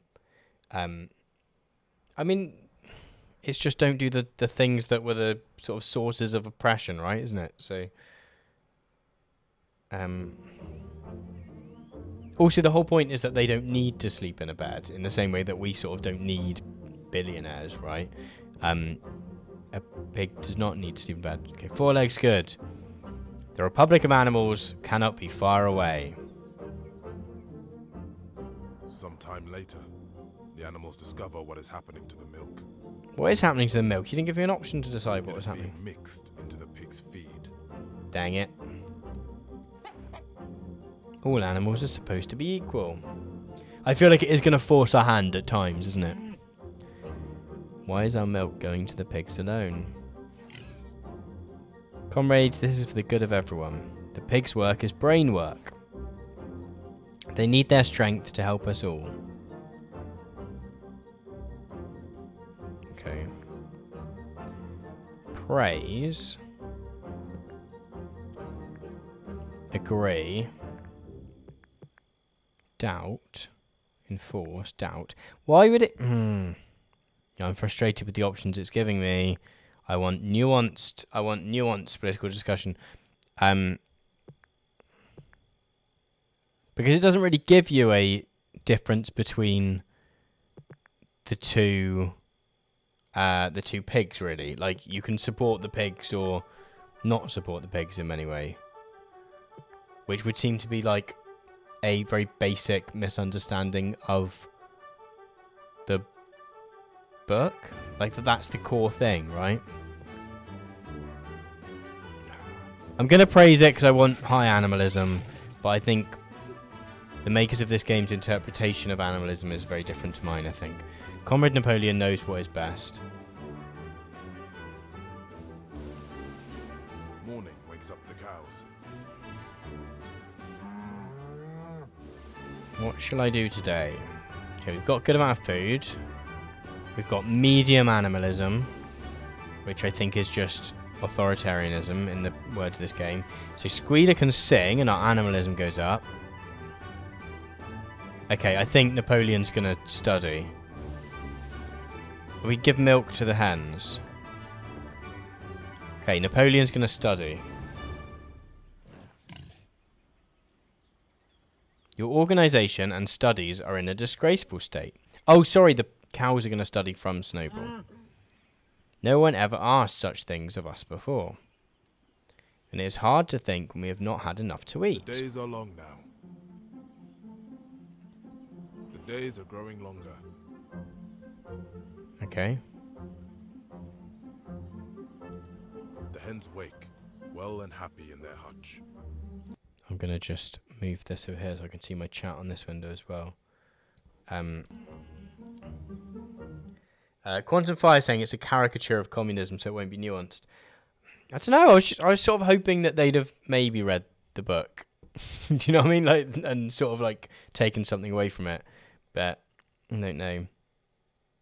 Sienna, Sienna saying that I guess maybe the rules loosely lay out the intention of the Russian Revolution and what they were seeking to escape. Yeah, I think there's an extent to which it is just a vague, um, a sort of vague outlining of the initial things.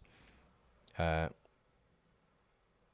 yeah, the pigs are sort of the revolutionary thinkers, but I don't know. I see like the the clear dispute at the heart of the book is that the snowball gets done over, and that. But I, I'm not sure if we're gonna have that as an option. Okay, the hens wake happy in their hutch. Can rest and the hens get healthier. Squealer can sing and animalism goes up. I don't understand. Oh, so we're deciding what the hens are going to do. But their health goes down or something? Something of the hens goes down if they study. Eggs to sell. Okay, we're going to study again. You could work on write your writing. We don't care to scratch letters in the dirt. Why don't they want to? Surely... Uh, they could want to learn. That is a thing that they could want. But we will if we must. Summer progresses, and the fields darken to gold.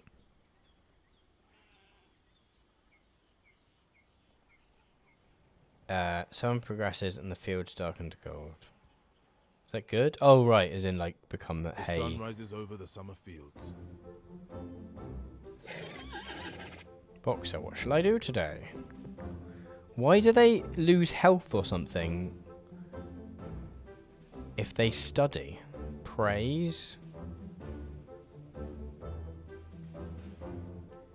Oh, Max saying that there's something I want to share from a friend, a flyer for how people can help if there's any tech workers in the chat.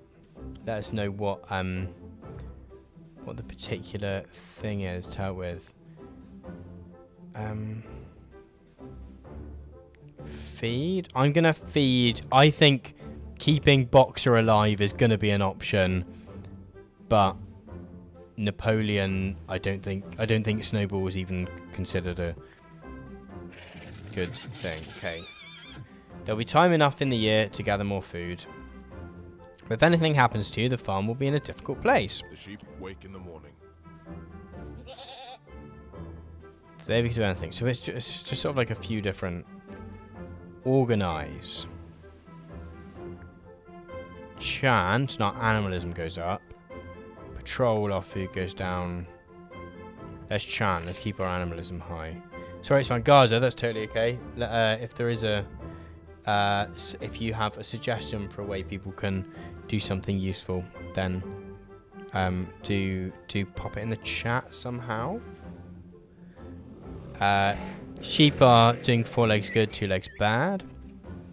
Why do you never do one about wings? We have birds now. I don't think the birds were anim- were around before. Can you hear that? Someone is singing Beast of England. We taught the animals in the neighbouring farms. Okay, we seem to be spreading our our rebelliousness. Um, I'm not. I'm not gonna lie. This game is not um, super exhilarating, is it? Propagandize, warn. Warn them of what? It's never sort of super clear what the options are. Like, I know it doesn't. I I don't exactly want a. You know, to be told exactly what's going to happen when I click things, but it often feels like I've literally no idea. We're going to propagandize.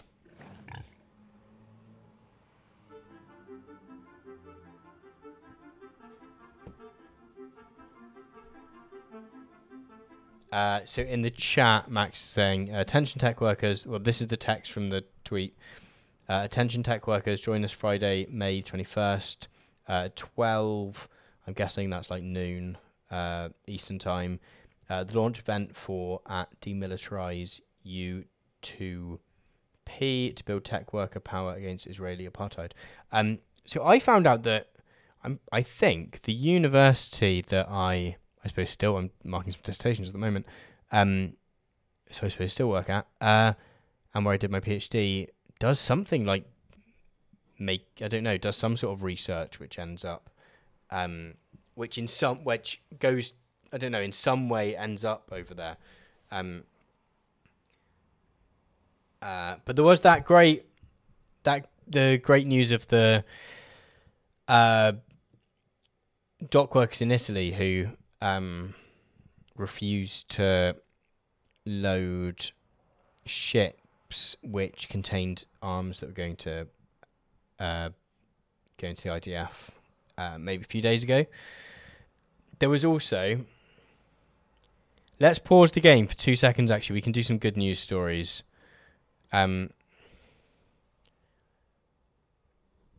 we can pause the game and do some. This will mm, much around for a second. Um, pause the game and we'll pause the game and do some. Let's have time for a couple of good news stories. Um, whilst a lot of uh, horrific things happening in the world. Um, so I think uh, in Italy there were dock workers who, uh, here we go in the Independent, uh, refused to uh, load yeah, load a ship. I think it was a, a, bigger sort of container ship, but one of the things that it contained was a shipment of arms uh, to go to Israel. Uh, workers will not be accomplices to the strikes on Gaza, says Union. Uh, so in Tuscany, in Livorno, because um, they discovered it was going to the Israeli port of Ashdod. Um, which is the kind of thing that I don't think you've sort of seen unions doing so much of in very, very recent years. I mean, definitely not in the UK, where, um, like, which used to be a much bigger thing of, uh, yeah, a union going, actually, we've got a slightly broader lens and things. There was also, um, uh, Max Gray saying in the chat that uh, yeah, I love seeing that. It's like the West Coast dock workers strike during South African apartheid. Yeah, um, yeah, there was several places that um, would uh, would do that. Um, that that would do sort of get involved in various forms of sort of BDS and just sort of refuse to work on stuff that um, you know involved going to South Africa. Um, there was also uh, what's he called? Fire Brigade Union. I, so, I, so there was a protest where um, this was another another you know positive story uh, amid a lot of the horrific stuff that um, some pro-Palestine protesters occupied a drone factory in Leicester, which is in the UK, um, where they were, you know, creating UAVs that were um, uh, well, so the protesters alleged have been used in the conflict between Israel and Hamas and Gaza. Um, and so they chained the gates and they went on the yeah they went on the roof. Is that right? Yeah. Um, and so as part of this, as quite what, what often happens is in the UK at least is that the the fire brigade were called out to.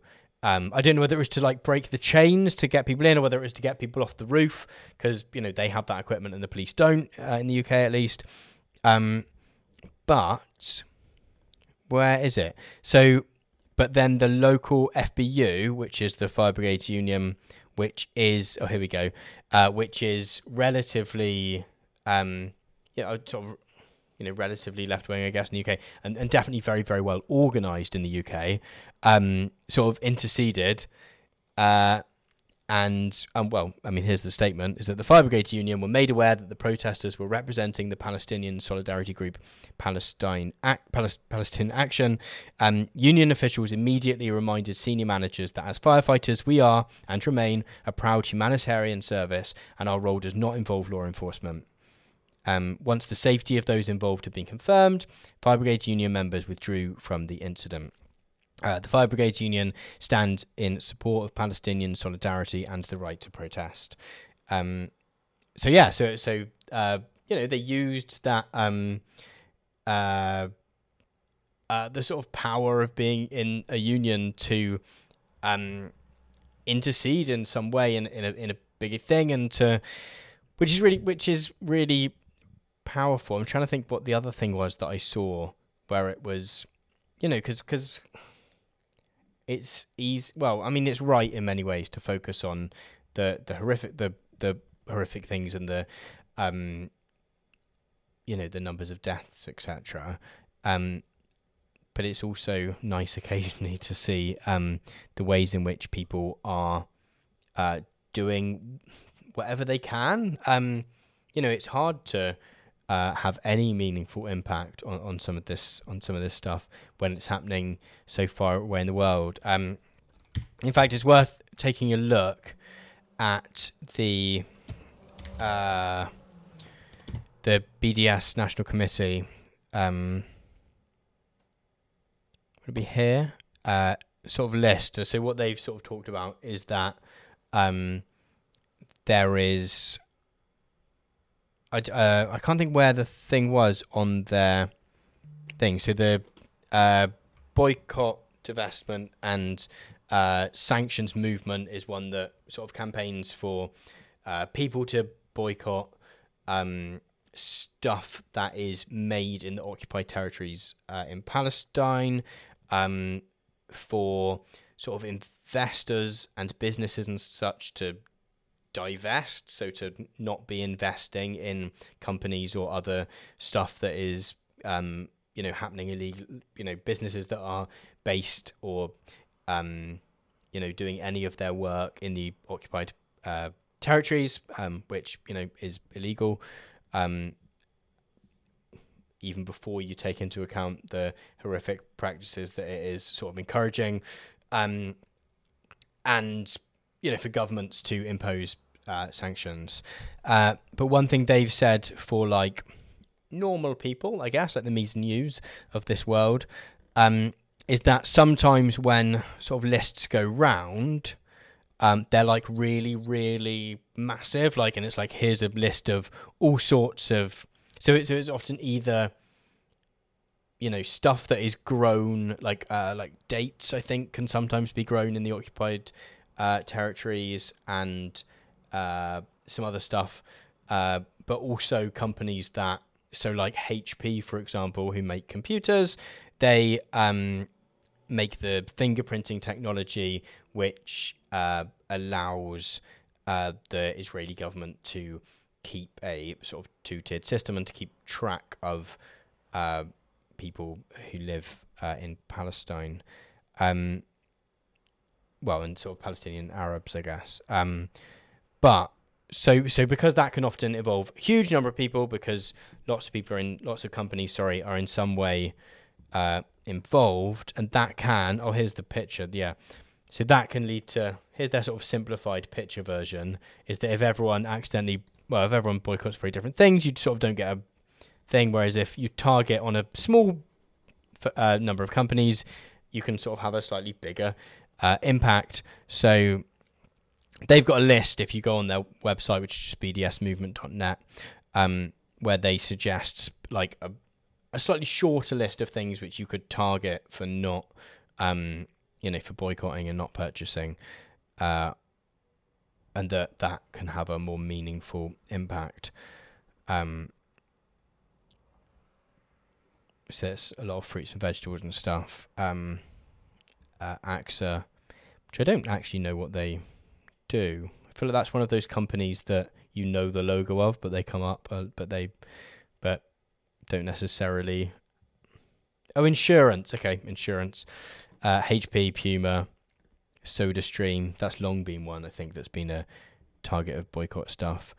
Um, and uh, Pillsbury, which I don't think that don't think necessarily exists in the UK, but is uh, the Doughboy exists in? Is it like Ghostbusters? I'm not sure. Um.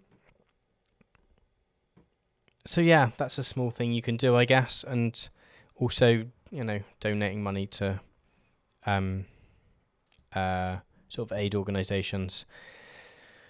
Um, it is very very sad, horrific times. Um, uh, it seemed like the US was maybe shifting towards doing something, or at least asking for a ceasefire, whatever that actually, whatever impact that has. I'm not sure.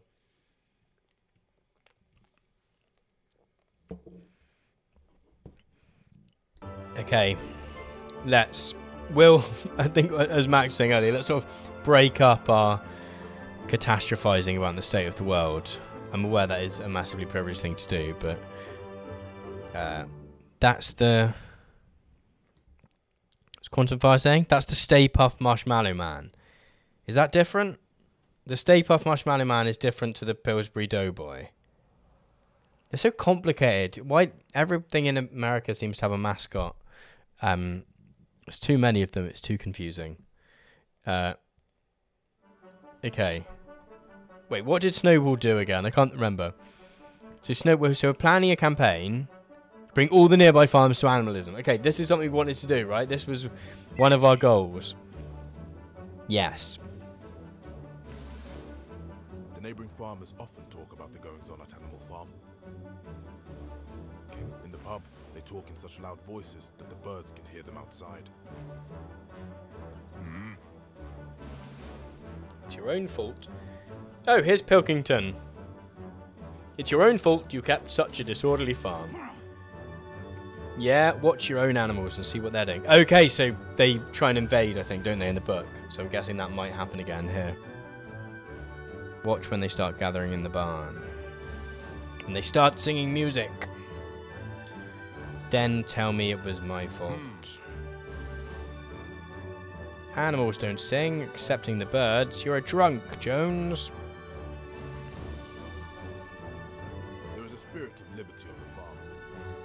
Good, good. I'm glad that there is a, spirit of liberty. Rations and working times are not closely observed. Food is wasted. But the animals are cheerful. The days of Jones are truly over. Animal Farm borders two other farms. One is called Foxwood, a large, neglected, old-fashioned farm. Its owner, Mr. Pilkington, is an easygoing gentleman farmer. The other farm, called Pinchfield, is smaller and better kept. Its owner is Mr. Frederick, a tough, shrewd man. Frederick is always involved in a lawsuit with someone. Okay, this feels like a new stage of the game. We ought to divide Animal Farm between ourselves. I've drawn a plan for dividing it between hmm. us. You've given yourself more than half of the fields. I've left you the woodland. Your own farm is half trees. So are they going to try and attack us? In all the nearby farms, word spreads about the state of affairs in Animal Farm. I thought we were spreading the word of animalism. Mr. Jones's neighbors make fun of him for losing his farm to his own animals. It was never good. mean to say that Farmer Pilkington looks like a bit of a dweeb? I think I'm allowed to take the out cartoons, actually, aren't I? Or a super one. He's outdone himself this time. I tell you, though, it's had a bad effect on the neighborhood. Okay, those are the things they're saying about us in town.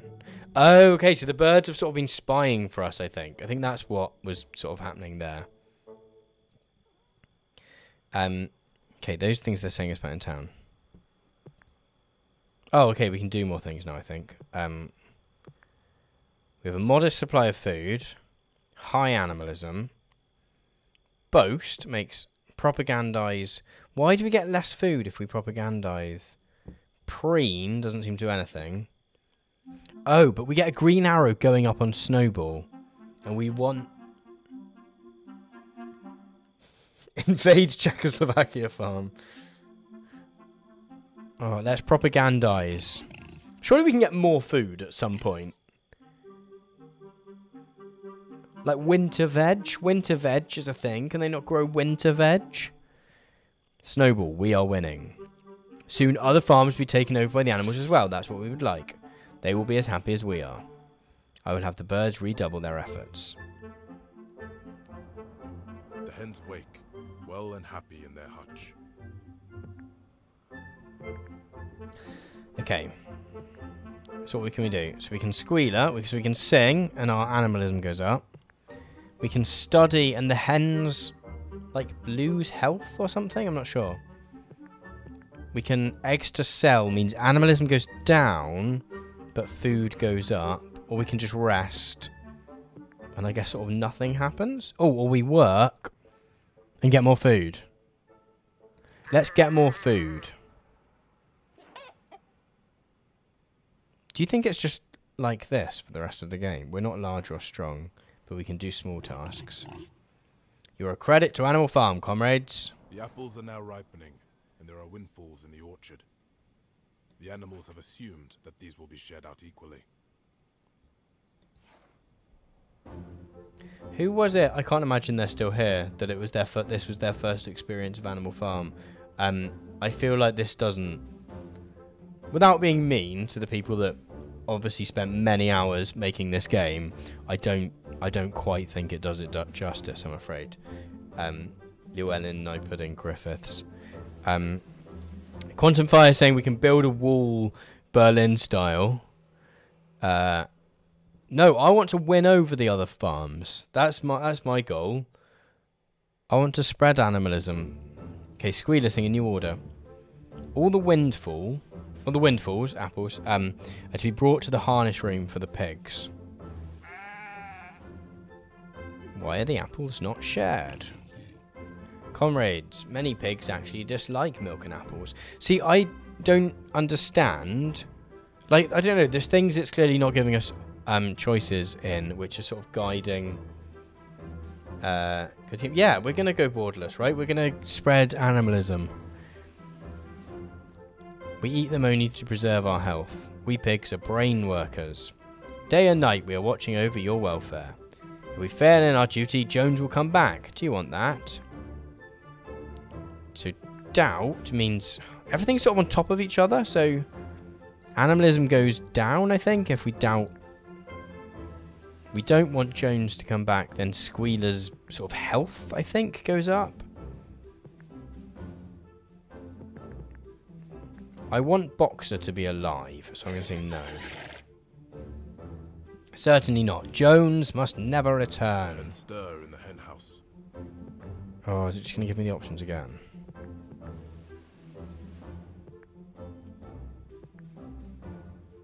Eggs to sell means we get more food. I'm not I'm not giving in to Napoleon's demands. I don't know if the hens are going to, like, die or something. Are they just going to get too clever that they just... You should learn to scratch your letters in the dirt at least. We never needed that before. I'm sure we've had this conversation already. It'll be beneficial now. Summer becomes autumn. Summer's become autumn, apparently. Uh, Surveil? Reassure. No, like the whole point of the book is that Snowball is the good one. and it really does not give you that option. Like it's like no, actually bad as well. Surveillance. We watch everything that happens on the farm and in Willingdon. Let every animal be in the field doing her part. Now is the time of year when the neighboring farmers cut Snowball is a feminist, apparently. Uh, now is the time of year when the neighbouring farmers cut the hedges. Well, that's good because all the human farmers do their parts. Julia Derm saying this is the Tom. This is the cutest shit ever. Do you mean the the the game? Because it it has nice animations. Um, it's not super exhilarating. I'm not gonna lie. It's I've I've played more exciting video games in my life. All the human farmers do their parts. Animal Farm should do its share. Oh, go away, Pilkington, you creep. They won't do it. Do you think the pigs carry clippers? If the pigs want to run a farm, they better do the whole job. Oh man. What do we have to do? Shear, shear, sh- shore, shore the shear the sheep. Ignore. Cut. Let grow.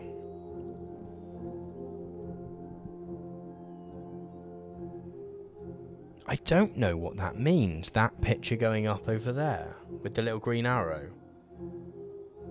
Like, it really explains none of the game to you.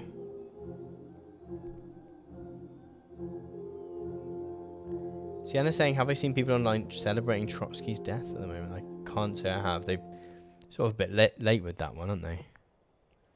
We're going to cut it. We're going with anything the humans do, a pig can arrange. It will be no more difficult than shearing a sheep. It will certainly be better for our good name in Willingdon. The harvest should have been brought in long ago. It is only now that the animals can begin the work. Why couldn't we? Only 'cause you didn't give me the option to start it earlier. Who will work the harvest? Comrades? Uh, so I don't want...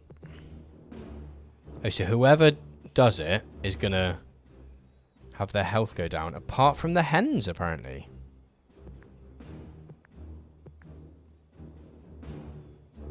Cooperate. But cooperating, that wouldn't be animalism going down, would it?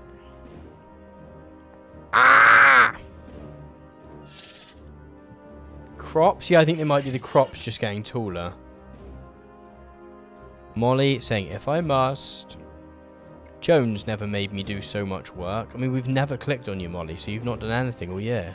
You've been chilling. Who will work the harvest? Comrades? Oh, so we can now, like, assist. Well, the hens never seem to... I think it maybe was a horse plough. Uh, we're small, but there are a lot of us. We can bring in the grain that would otherwise be left out in the field. I think that does happen in the book, actually. Uh, lay in plenty of potatoes and apples. Oh, so we get to decide who's going to go, and therefore... Thing is, we've got loads of food now. So I'm going to halt. I'm going to go with Squealer and halt. Because Boxer will stay alive if it's the last thing I do. That will do. There are enough of us to work on the harvest now. It rains heavily for several days, and no work can be done.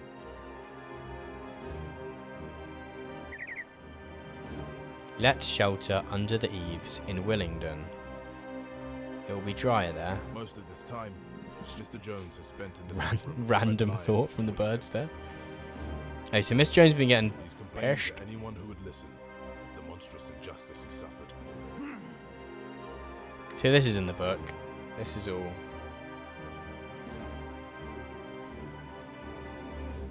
Hmm. Very awkward business. That's Mr. Pil- that's Pilkington's voice. Very awkward business. Are they going to attack? The weather turns bitter. Okay. The snow covers the farm. Hey. Comrades, we may need to make a few sacrifices for the good of all.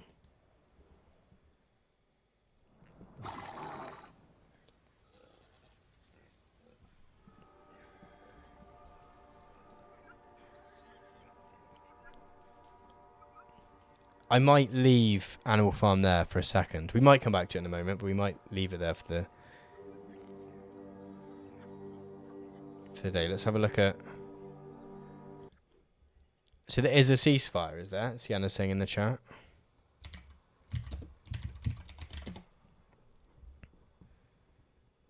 Israel Gaza. Israel agrees ceasefire in conflict with Gaza militants.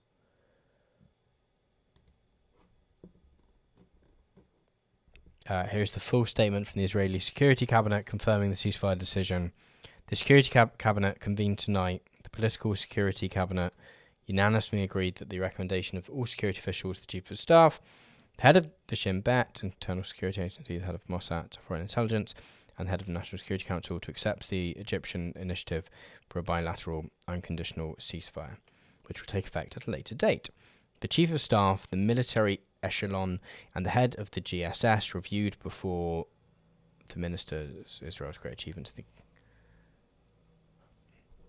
wow. The Chief of Staff, the military echelon, and the head of the GSS reviewed before the ministers Israel's great achievements in the campaign. It doesn't really make sense grammatically. Some of which were unprecedented. The political echelon emphasizes that the reality on the ground will determine the continuation of the campaign. So at 8:44 Oh, so about 15 minutes ago they confirmed Israel confirmed the ceasefire but not its timing. Oh, the Guardian notifications just come through. Um it's killed 232 in Gaza and 12 in Israel. The the fighting over the last few days. Um, three hours away from us now. Israel still bombing lots at the moment. Um,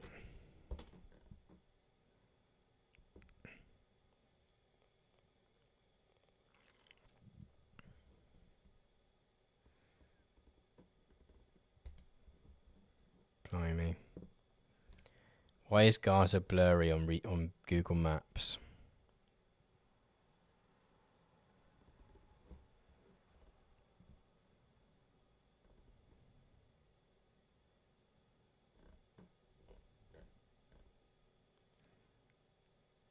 Yeah, this is in this this stuff like this interests me about like how um can we talk about the YouTubers?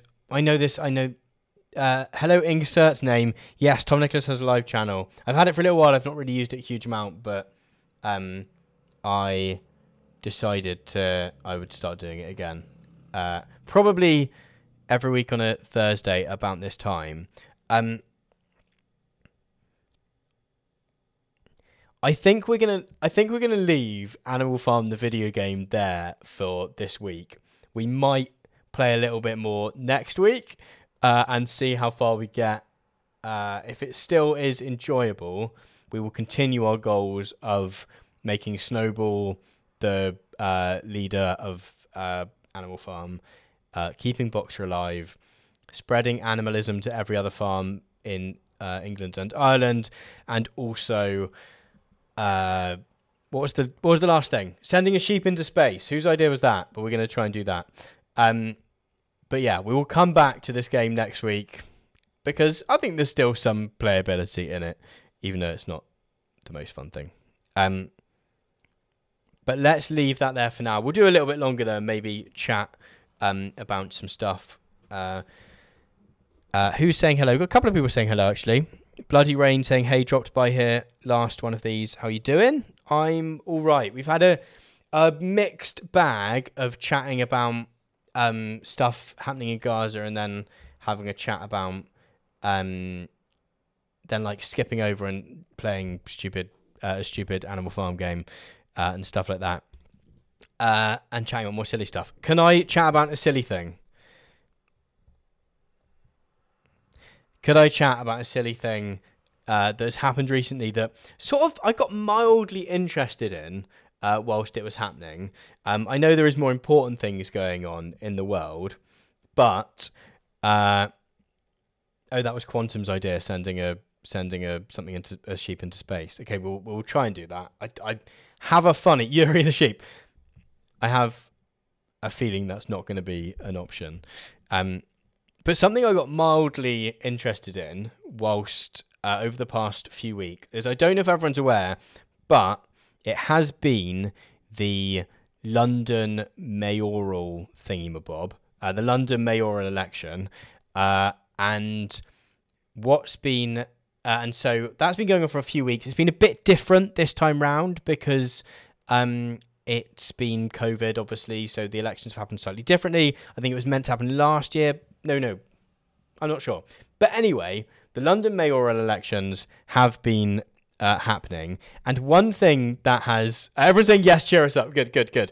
So one thing that has been interesting me about the London mayoral elections is that two YouTubers this time round ran for uh, the London mayorship.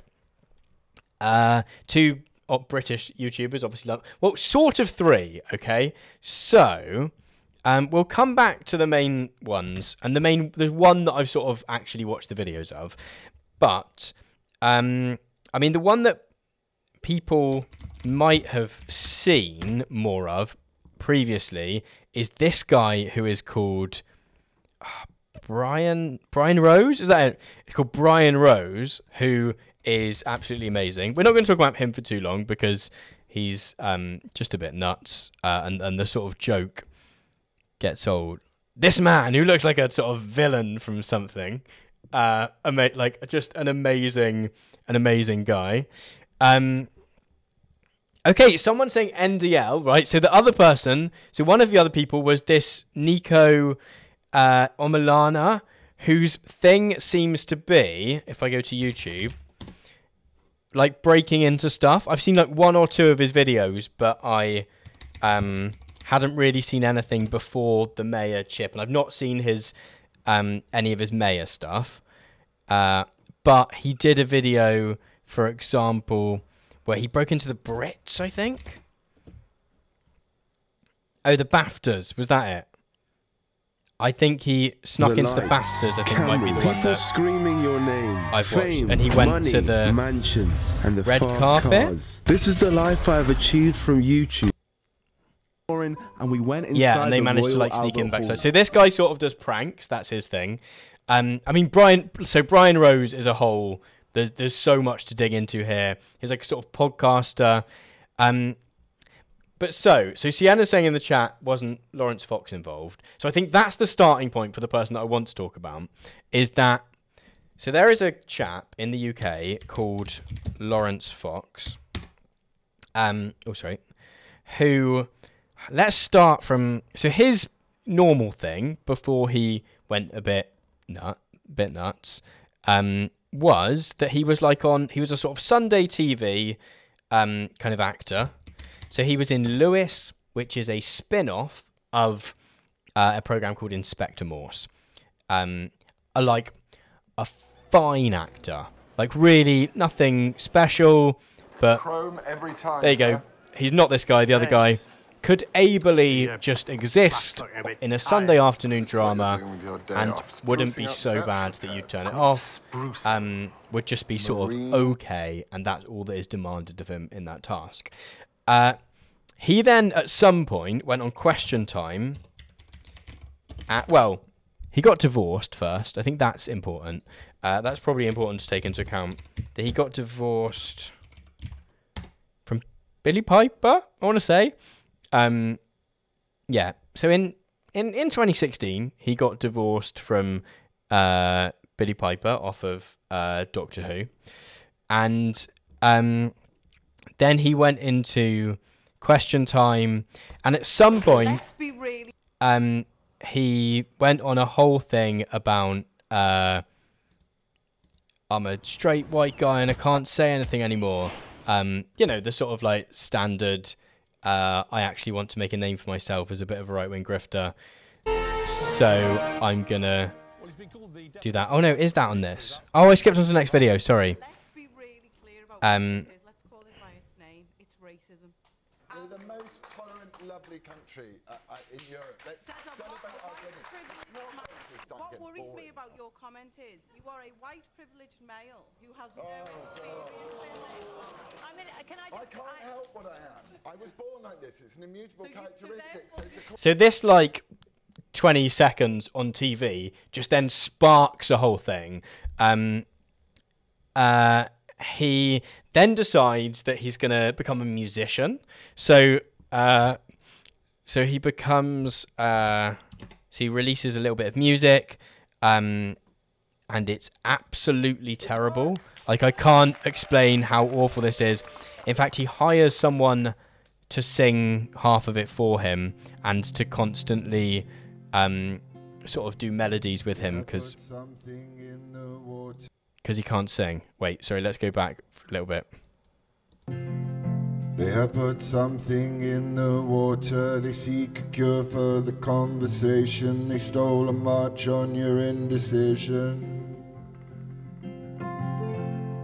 And the first to fall was laughter, just to quell the unoffended. Well, you can't hear the audio. Your opinion. I mean, that's that's a good thing for you, I think. But I can't. been turned. I've turned it up a little bit. It might be. Replaced by blinding fires that burn wild across the region. Sorry, Llewellyn just saying, just tuned in again. Oh lordy, Laurence Fox. Um, so uh, the audio on the video doesn't work. Okay, I mean that has saved you all plenty of. Um, you can go and find it if you want. It's it's horrific. Um, and so he releases some music, which is all about. It's all like sort of right wing protest songs about how you can't make jokes anymore.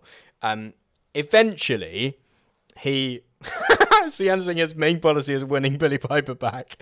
Uh, it is it is strong, strong, strong divorced energy to the whole thing. Um, so yeah, insert name saying I have been subjected to the singing. Uh, so he does that, and that flops because the music's absolutely terrible. He then oh the audio did come back on, did it?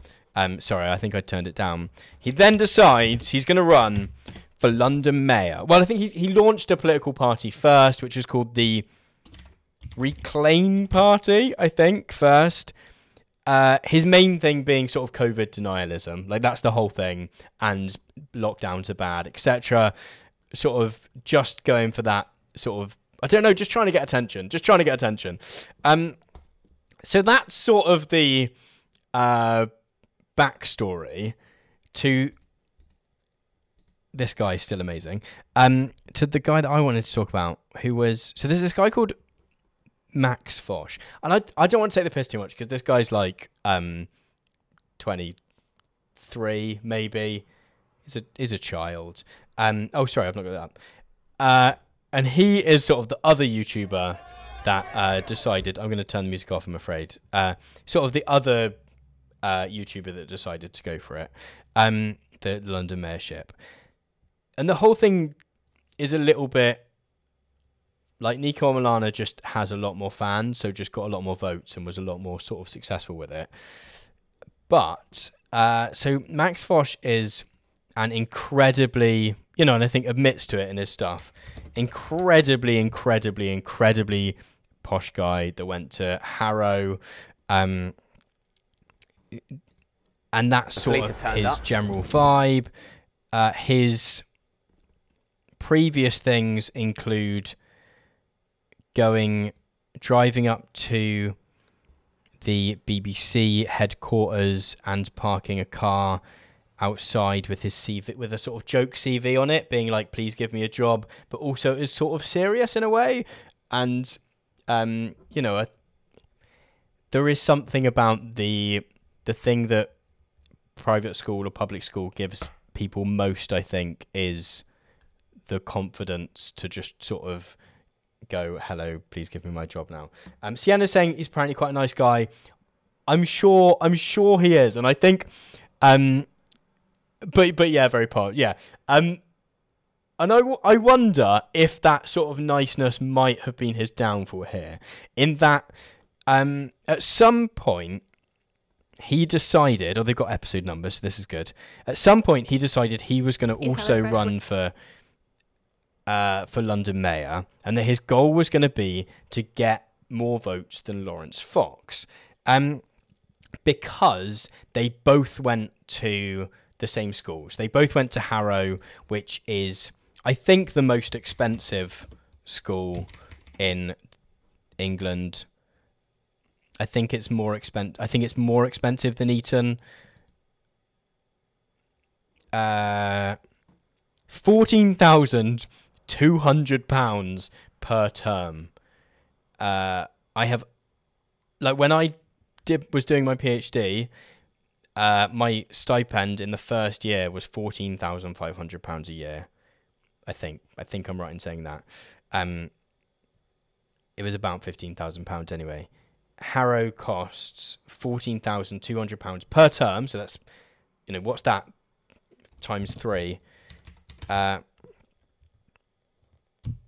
so that's forty-two thousand pounds a for a single year to send your child there, um, and uh, so him and uh, Laurence Fox both went to, and they do. They wear straw hats. They wear straw hats. Sienna's saying, uh, Harrow Harrow School uniform.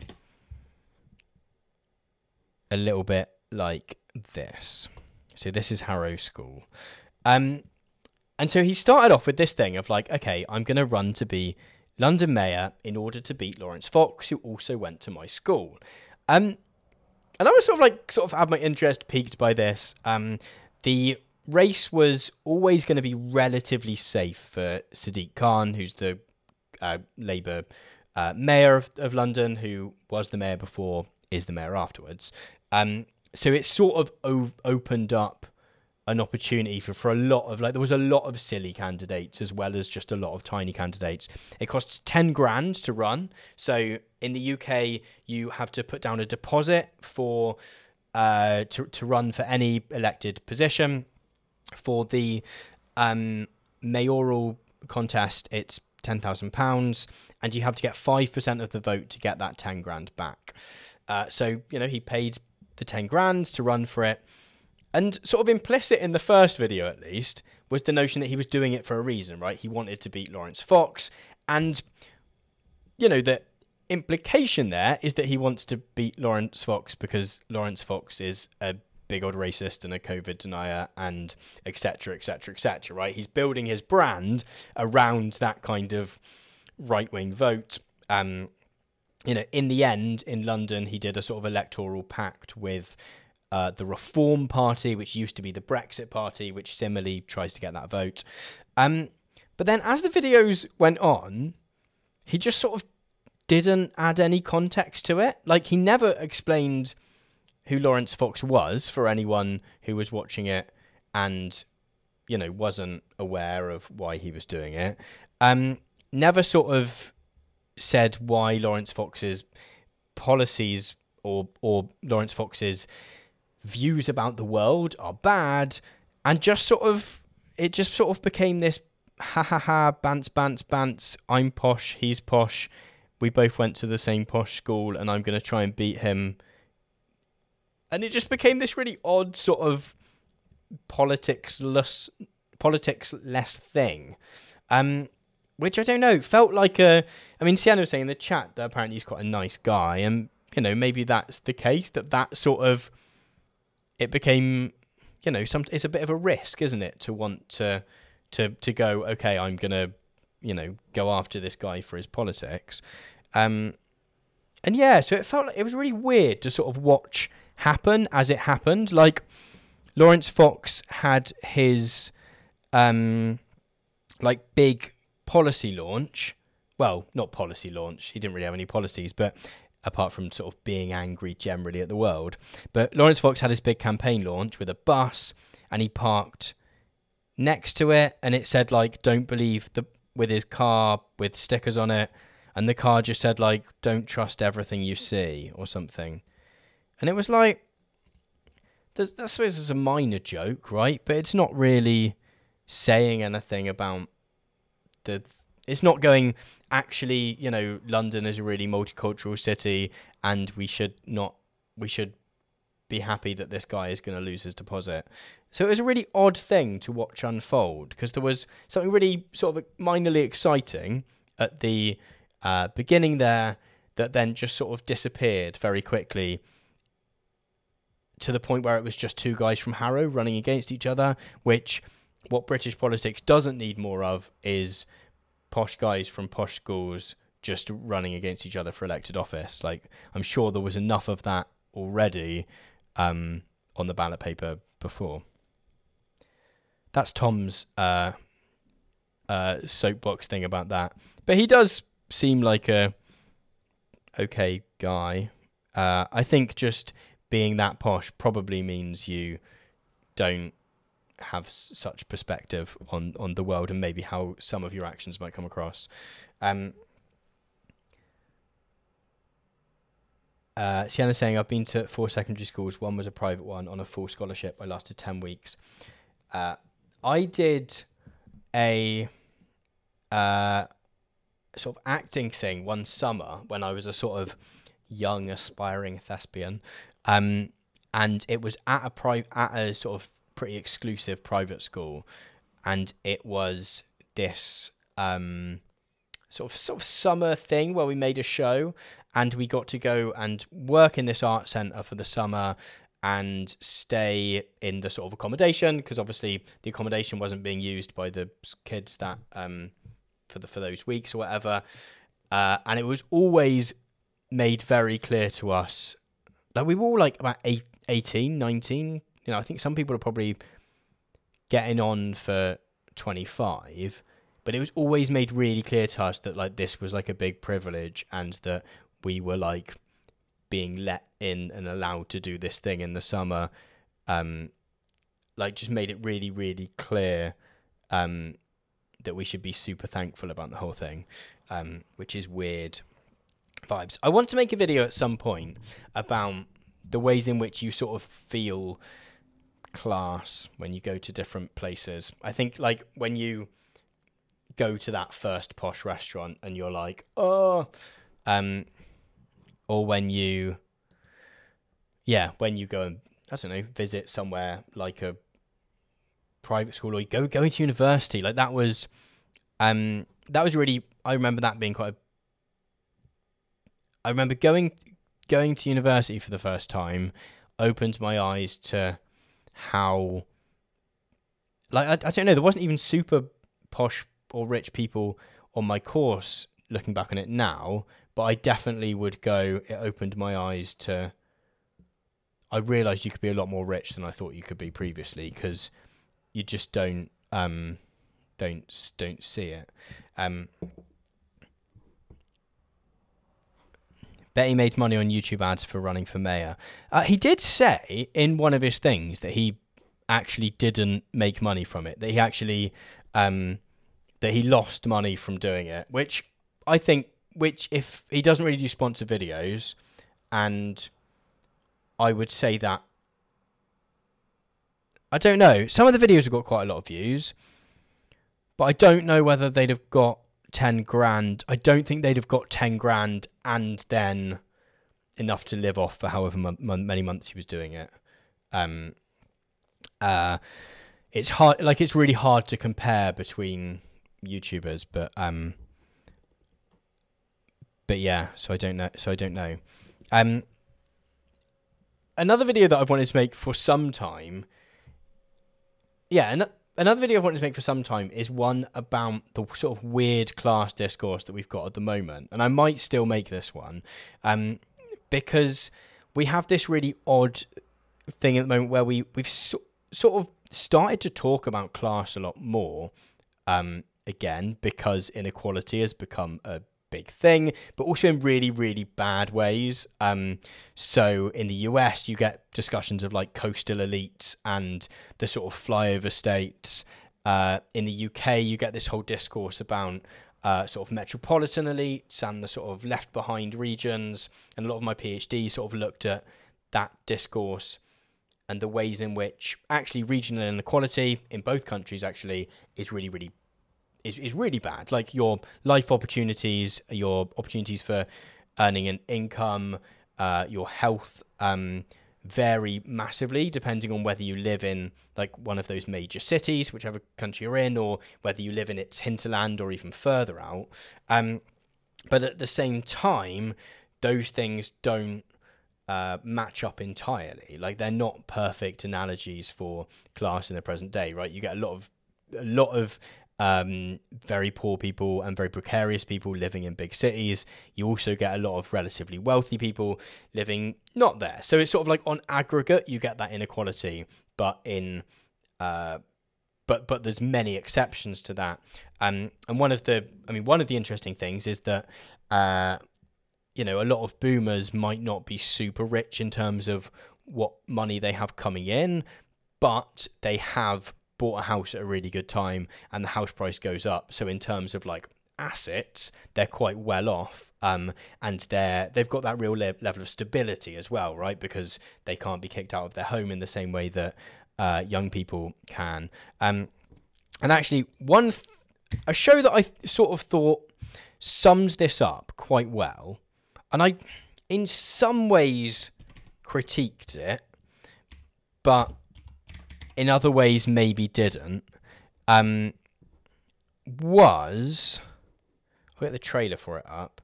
Um, was Schitt's Creek, I don't know if I don't know how many of you have seen um, Schitt's Creek, which I think I when I first started watching it, I was like, okay, this is just going to be uh, a sort of rehash of Arrested Development, maybe.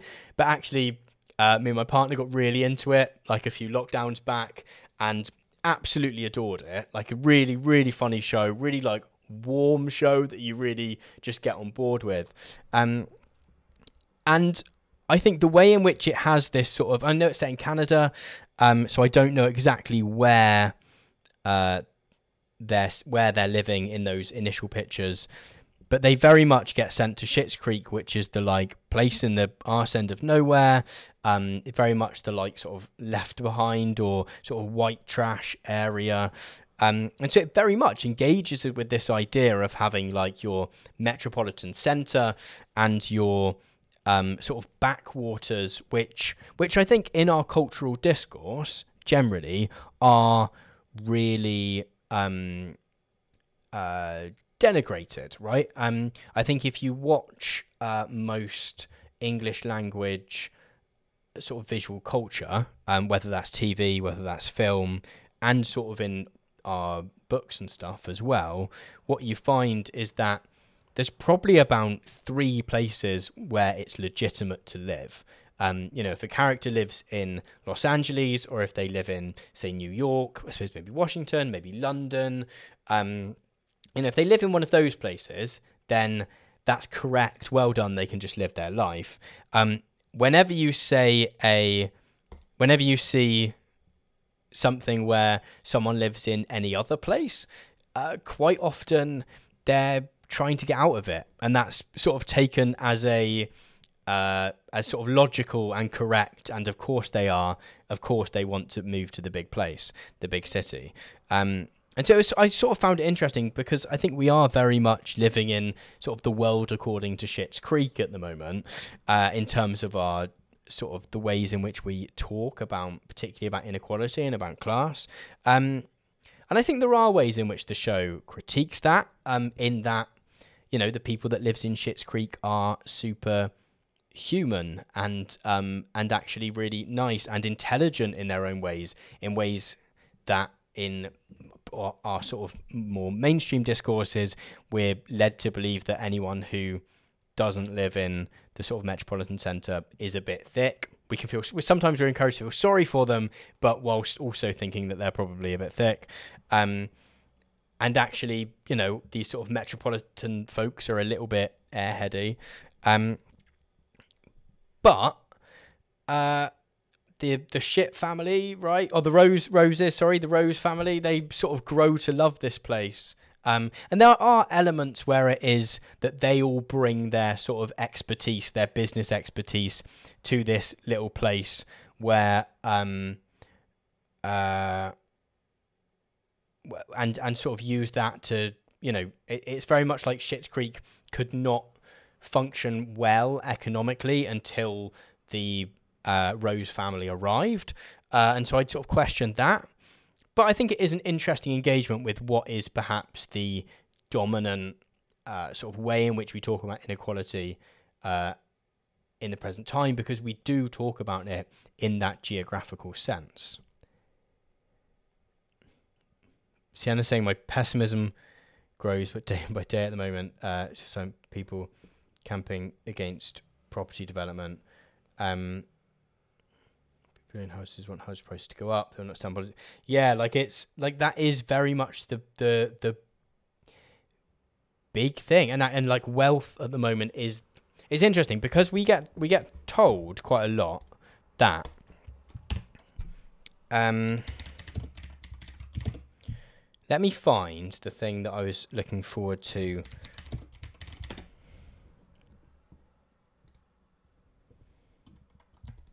is it this?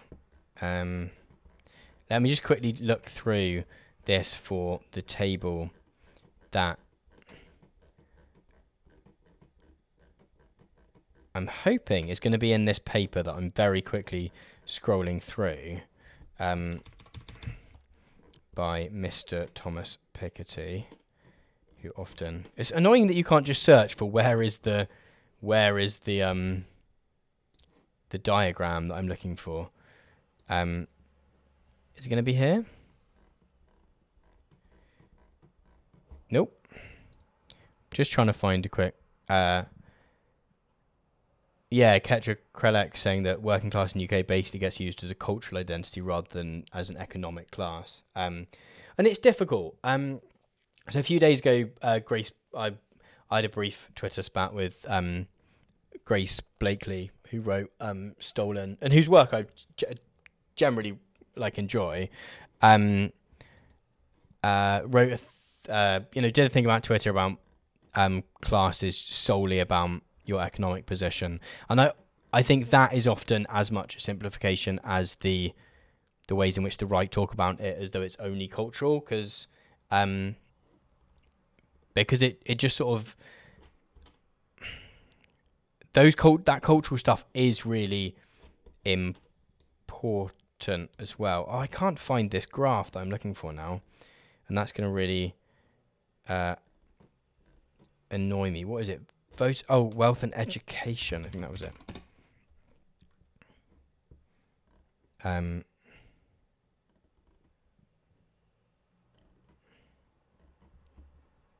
I saw it on Twitter earlier, but I can't can't find it at all now.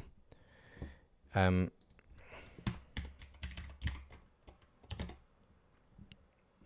uh, I have friends whose parents are academics and live in a very middle class way who call themselves working class because of their family's history in mining and the docks. Okay, so I've got something else I can show you as well.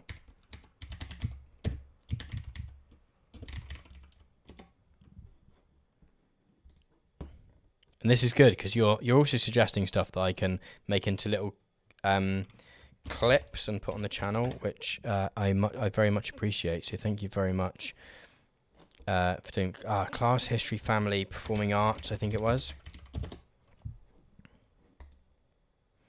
Ah, is this what I'm looking for?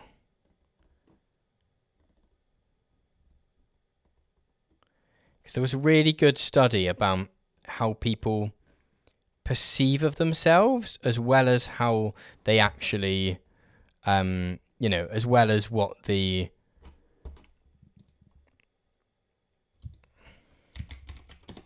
what their actual proper class identity might be said to to be.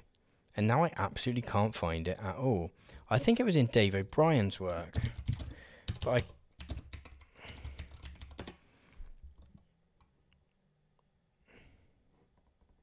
Okay, okay, so I found one article about it, but I won't be able to. I won't be able to access that one. I don't think. Um. ah, there was definitely an article in the Guardian that I can. Sorry, this is super boring for everyone because I'm just trying to find. Uh, saying, everyone's saying yay clips. Um,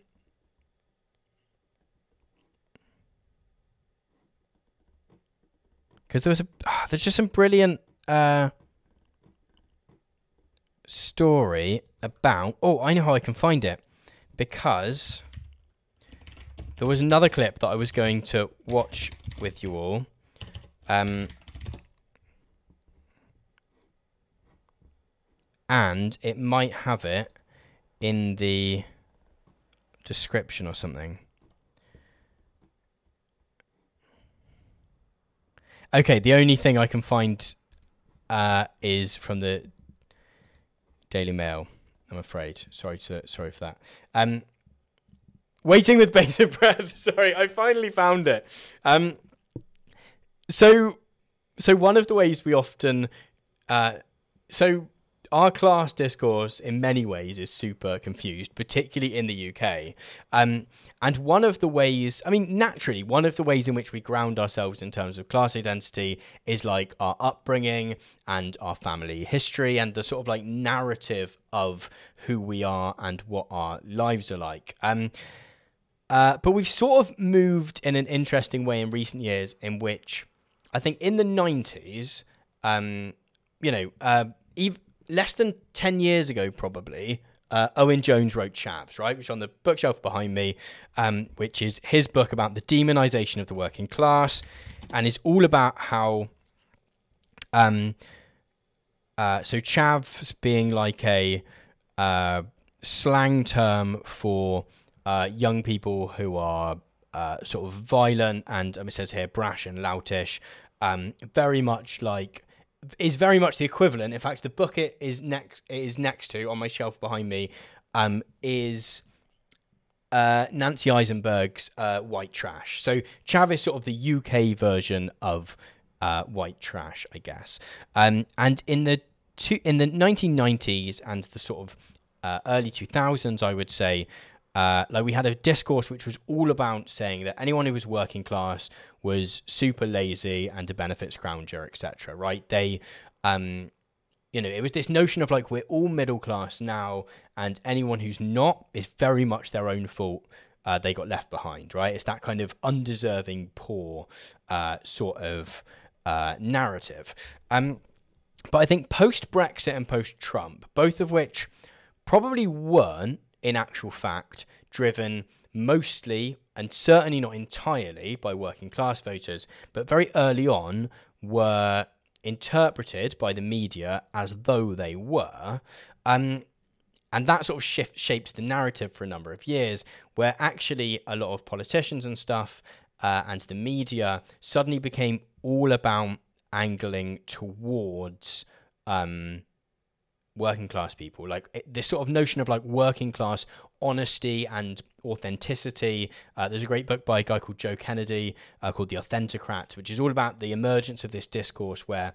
Uh, which is sort of populism, but sort of a little bit different, in which at the moment all uh, politicians are trying to speak for uh, you know, the the Rust Belt or the Red Wall is the big thing here in the UK. Um, they're all about speaking for and to and sort of about the working class in a way that suggests they're on the same side. Um, so he very much flipped in not a huge number of years from a discourse which, uh, which you know, if I find um, a clip from uh, Little Britain, uh, which is a show that has not aged well uh, in many ways, but if I find like Vicky Pollard from Little Britain, who gets mentioned a lot in Chavs. Like, she's very much just this like uh, thick working class girl who is sexually promiscuous and not very intelligent. Uh, you know, at one point swaps a baby for a Westlife CD, I think. Um, we very quickly gone from this kind of discourse to one where actually everyone's trying to pretends that show their affinity with working classness. And we've also more broadly, in, in many ways, in, in ways that is mostly very, very good, we have um, developed a discourse where we recognize slightly better than we potentially used to. We recognize some of the ways in which people's uh, struggles due to various aspects of their identity, potentially, um, whether that's uh, ways in which they are uh, marginalized through being racialized or the ways in which um, uh, or sort of like uh, you know gender or uh, sexual preference or or whatever, we've sort of started to become much better at recognizing the ways in which those things impact people's lives, and therefore uh, the sort of courage that it takes to come through them, right? And we've sort of also started to get that with um, class as well. Um, and you know, we love that story of the working class kid done good who then found success in whatever way. Um, but there was this really interesting research done by, um, I think it's the research group. So it's a, some some um, researchers from the London School of Economics uh, who uh, looked at the ways they were particularly looking at the performing arts. So the performing arts is terrible in terms of uh, people having rich parents, and that's the reason that they're um you know that they get to the top. If you think of big breakout stars of um recent years, like one would be uh, Phoebe Waller-Bridge, definitely a big breakout thing from the UK, uh, and she's like, uh, re- she's got like her ancestry is like uh like royal no nobility, right? Um, but um, what they found was that uh, 36 people of uh, so they in, they did 175 sort of sociological interviews with people, uh, and they found 36 people who had undeniably middle class upbringings thought of themselves as working class. Right?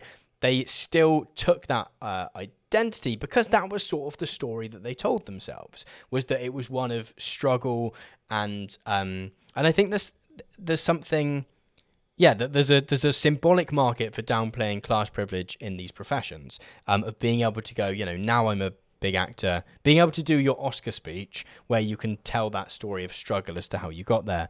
Um, and 36 is a massive number in 175 interviews, right? Um, and uh, I think there was something about people really going back into their family history, like really, really far, and being like, my granddad was a miner or whatever.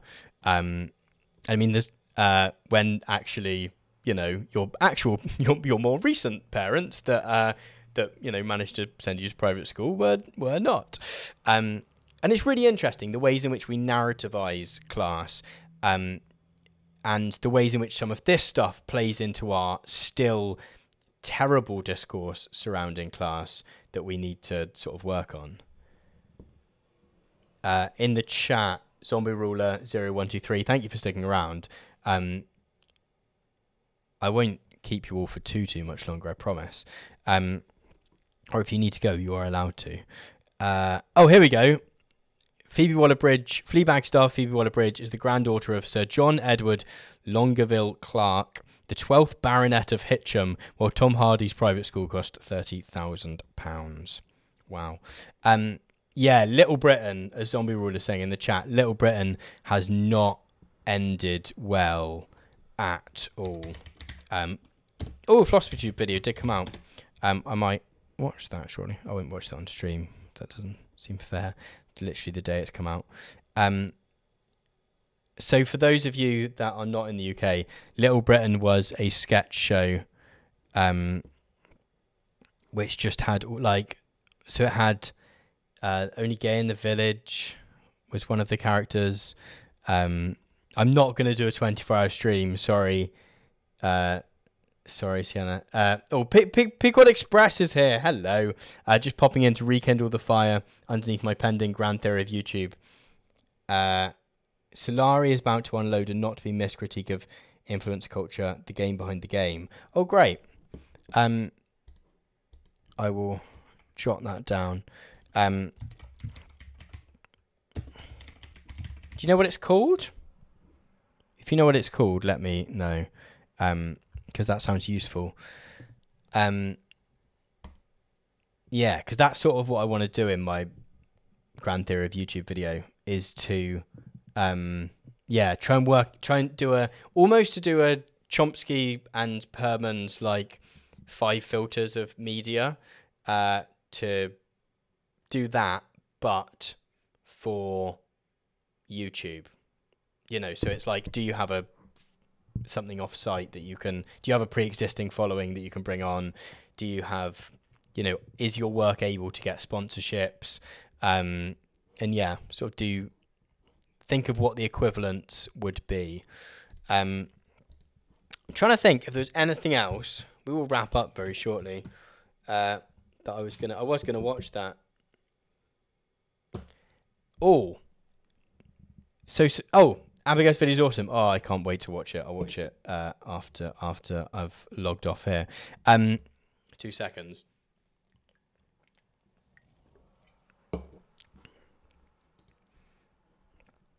So I do have some good news that is sort of good news that then is actually not such good news.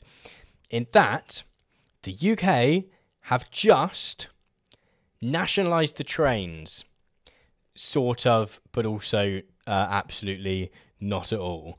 Um, and I think this is this is an interesting uh, thing in terms of our politics more broadly at the moment. Is that um, so? So for those of you that don't know, uh, the UK until the moment, and it's changed slightly during COVID, uh, has had a privatized train system whereby until 1993, I want to say, let's go on British Rail. Don't normally use Wikipedia. Don't don't take this as a uh, indication of uh, how I normally do my research, but it's quick and easy sometimes, isn't it? Uh, so okay, so between 1994 and 1997, um, the British Rail, which used to just run the trains in uh, the UK, because having a nationalised train system is the only real proper way to run a train system, uh, was gradually uh, sold off or or franchised out. And the way it was done was that the tracks and the sort of maintenance of all the tracks and infrastructure uh, was run by or or or until very recently has has been run by um or, or is at the moment. I think there was some change. I think the early system was slightly different, but at the moment, what happens is that there is a company called National Rail which looks after the tracks if anything goes wrong, um, and then private companies which include like Virgin, which include uh, Arriva, includes it actually includes public companies from other countries who run the uh, train systems and transport systems in other countries are some of the franchisees here. Uh, so they get to run trains and make a profit on them in the UK and then use that money to subsidize, uh, you know, trains and buses elsewhere in the world. Uh, the individual like journeys, so like you know the Southwest, for example, where I live, um, is franchised out to uh, Cross Country is one of the companies, and Great Western Railway, which is a part of First for anyone who knows First buses and stuff. Um, uh, and this is a really good system if you're a train fran- because uh, sometimes you get bought the trains, which is nice. Um, although sometimes you can just rent them, so you don't actually have to own trains anyway. Um, you know, the bit where most of the stuff can go wrong, the tracks, uh, that gets looked after by a sort of publicly owned company called National uh, National Rail. Um, and so uh, it's been a very, very good system. Now, one of the big, uh, one one big thing in the sort of Labour platform in the Corbyn years was the renationalisation of the trains. Um, uh, nationalising trains in the UK is hugely popular. Um, sorry, I can't spell. Uh, it's like hugely, hugely, hugely popular. I think it's like okay, sixty-four percent here in 2018 of people said they would support renationalising railways because it just makes sense. Because if you've got a private, com- you've got a public company doing all the expensive stuff, looking after the tracks, but then you've just got private companies taking away all the um, all the profit off the top uh, from the ticket sales, and also um, it's trains just the, the trains are what's called like a national uh, natural monopoly, right? Because you actually you know you need to be somewhere in a certain at a certain time. So if there's two trains running on a track, you're probably not gonna just wait 20 minutes for the next train because you're going to miss the place you're going to. Um, so it just just doesn't it just doesn't make sense. You can't have competition in the same way. You know, even within that logic of competition making services better and more affordable and more efficient, um, it doesn't. It just can't work in the same way with trains unless you have many different rail systems coexisting at one time, which you're just not going to have anywhere. Um, so renationalizing the railway is a hugely popular thing, um, and is something that was like a, a real central plank, I would say, to um, the the Labour platform during the Corbyn years. Uh, and today there was a paper, a sort of white paper, which is a sort of proposal, but it's usually a proposal that the government's very likely to do, um, published that said that the Conservative Party, who are the ruling party in the UK, uh, are going to. Well, the way it's being pitched is sort of is that trains are coming under state control, which is sort of true. But at the same time, it's sort of not true at all because um, what's actually happening is that you know there are some good things in that um, the trains are going to be. So I think the government is going to be able to like set what the prices are. They're going to be able to sort the timetables to make sure things all make sense in terms of you know I don't know if you need to transfer somewhere, um, but it's still going to be uh, private companies actually just doing the running of it. So they're going to sort of outsource the actual running of the trains, even if they've got less decision making in how much to charge and in what way. So it's sort of positive, but it's also the sort of half baked version of um, the main uh, sort of policy of the, of the sort of policy which could have existed in a different, you know, had the Conservatives not won the last election, right? Um, but I do think it sort of goes to show the extent to which. So there was this thing after. Actually, I'll, ref- I'll find it now.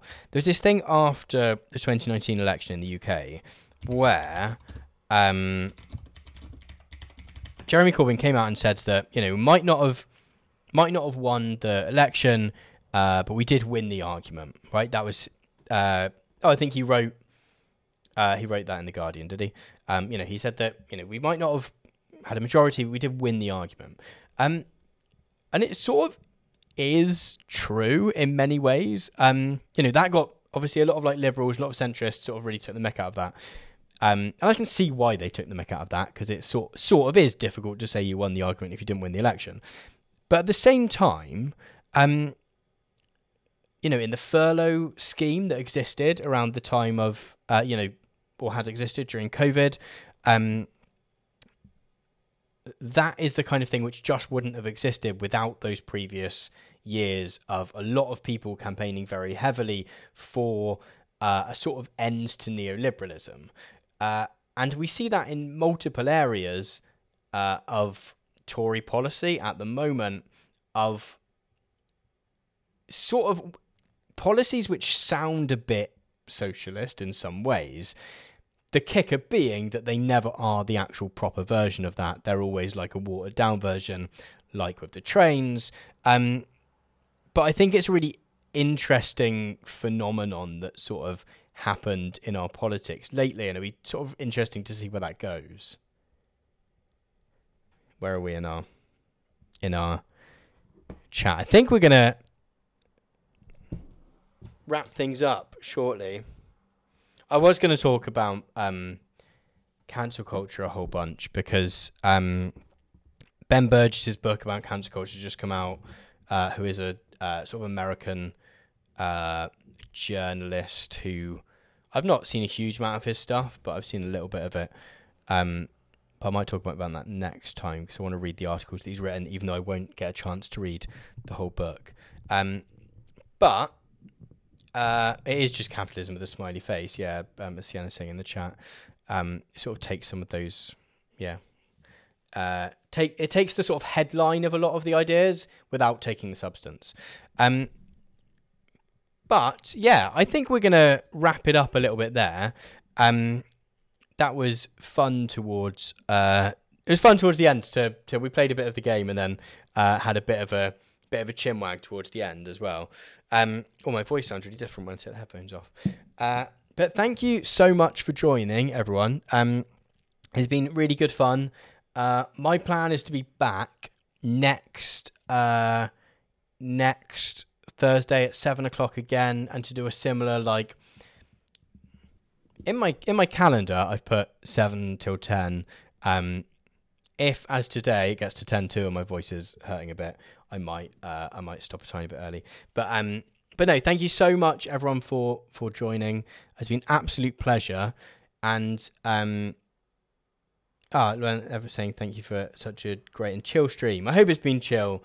Um, I know lots of people were doing uh sort of Gaza relief streams, and please do go like please do uh go and um uh you know if you have not already consider uh you know working out ways that you can support stuff that's uh, you know aid efforts over there. But um, but I thought I'd I'd do something that was just a bit bit chill and a bit of a bit of light relief, I guess. So thank you everyone for for joining.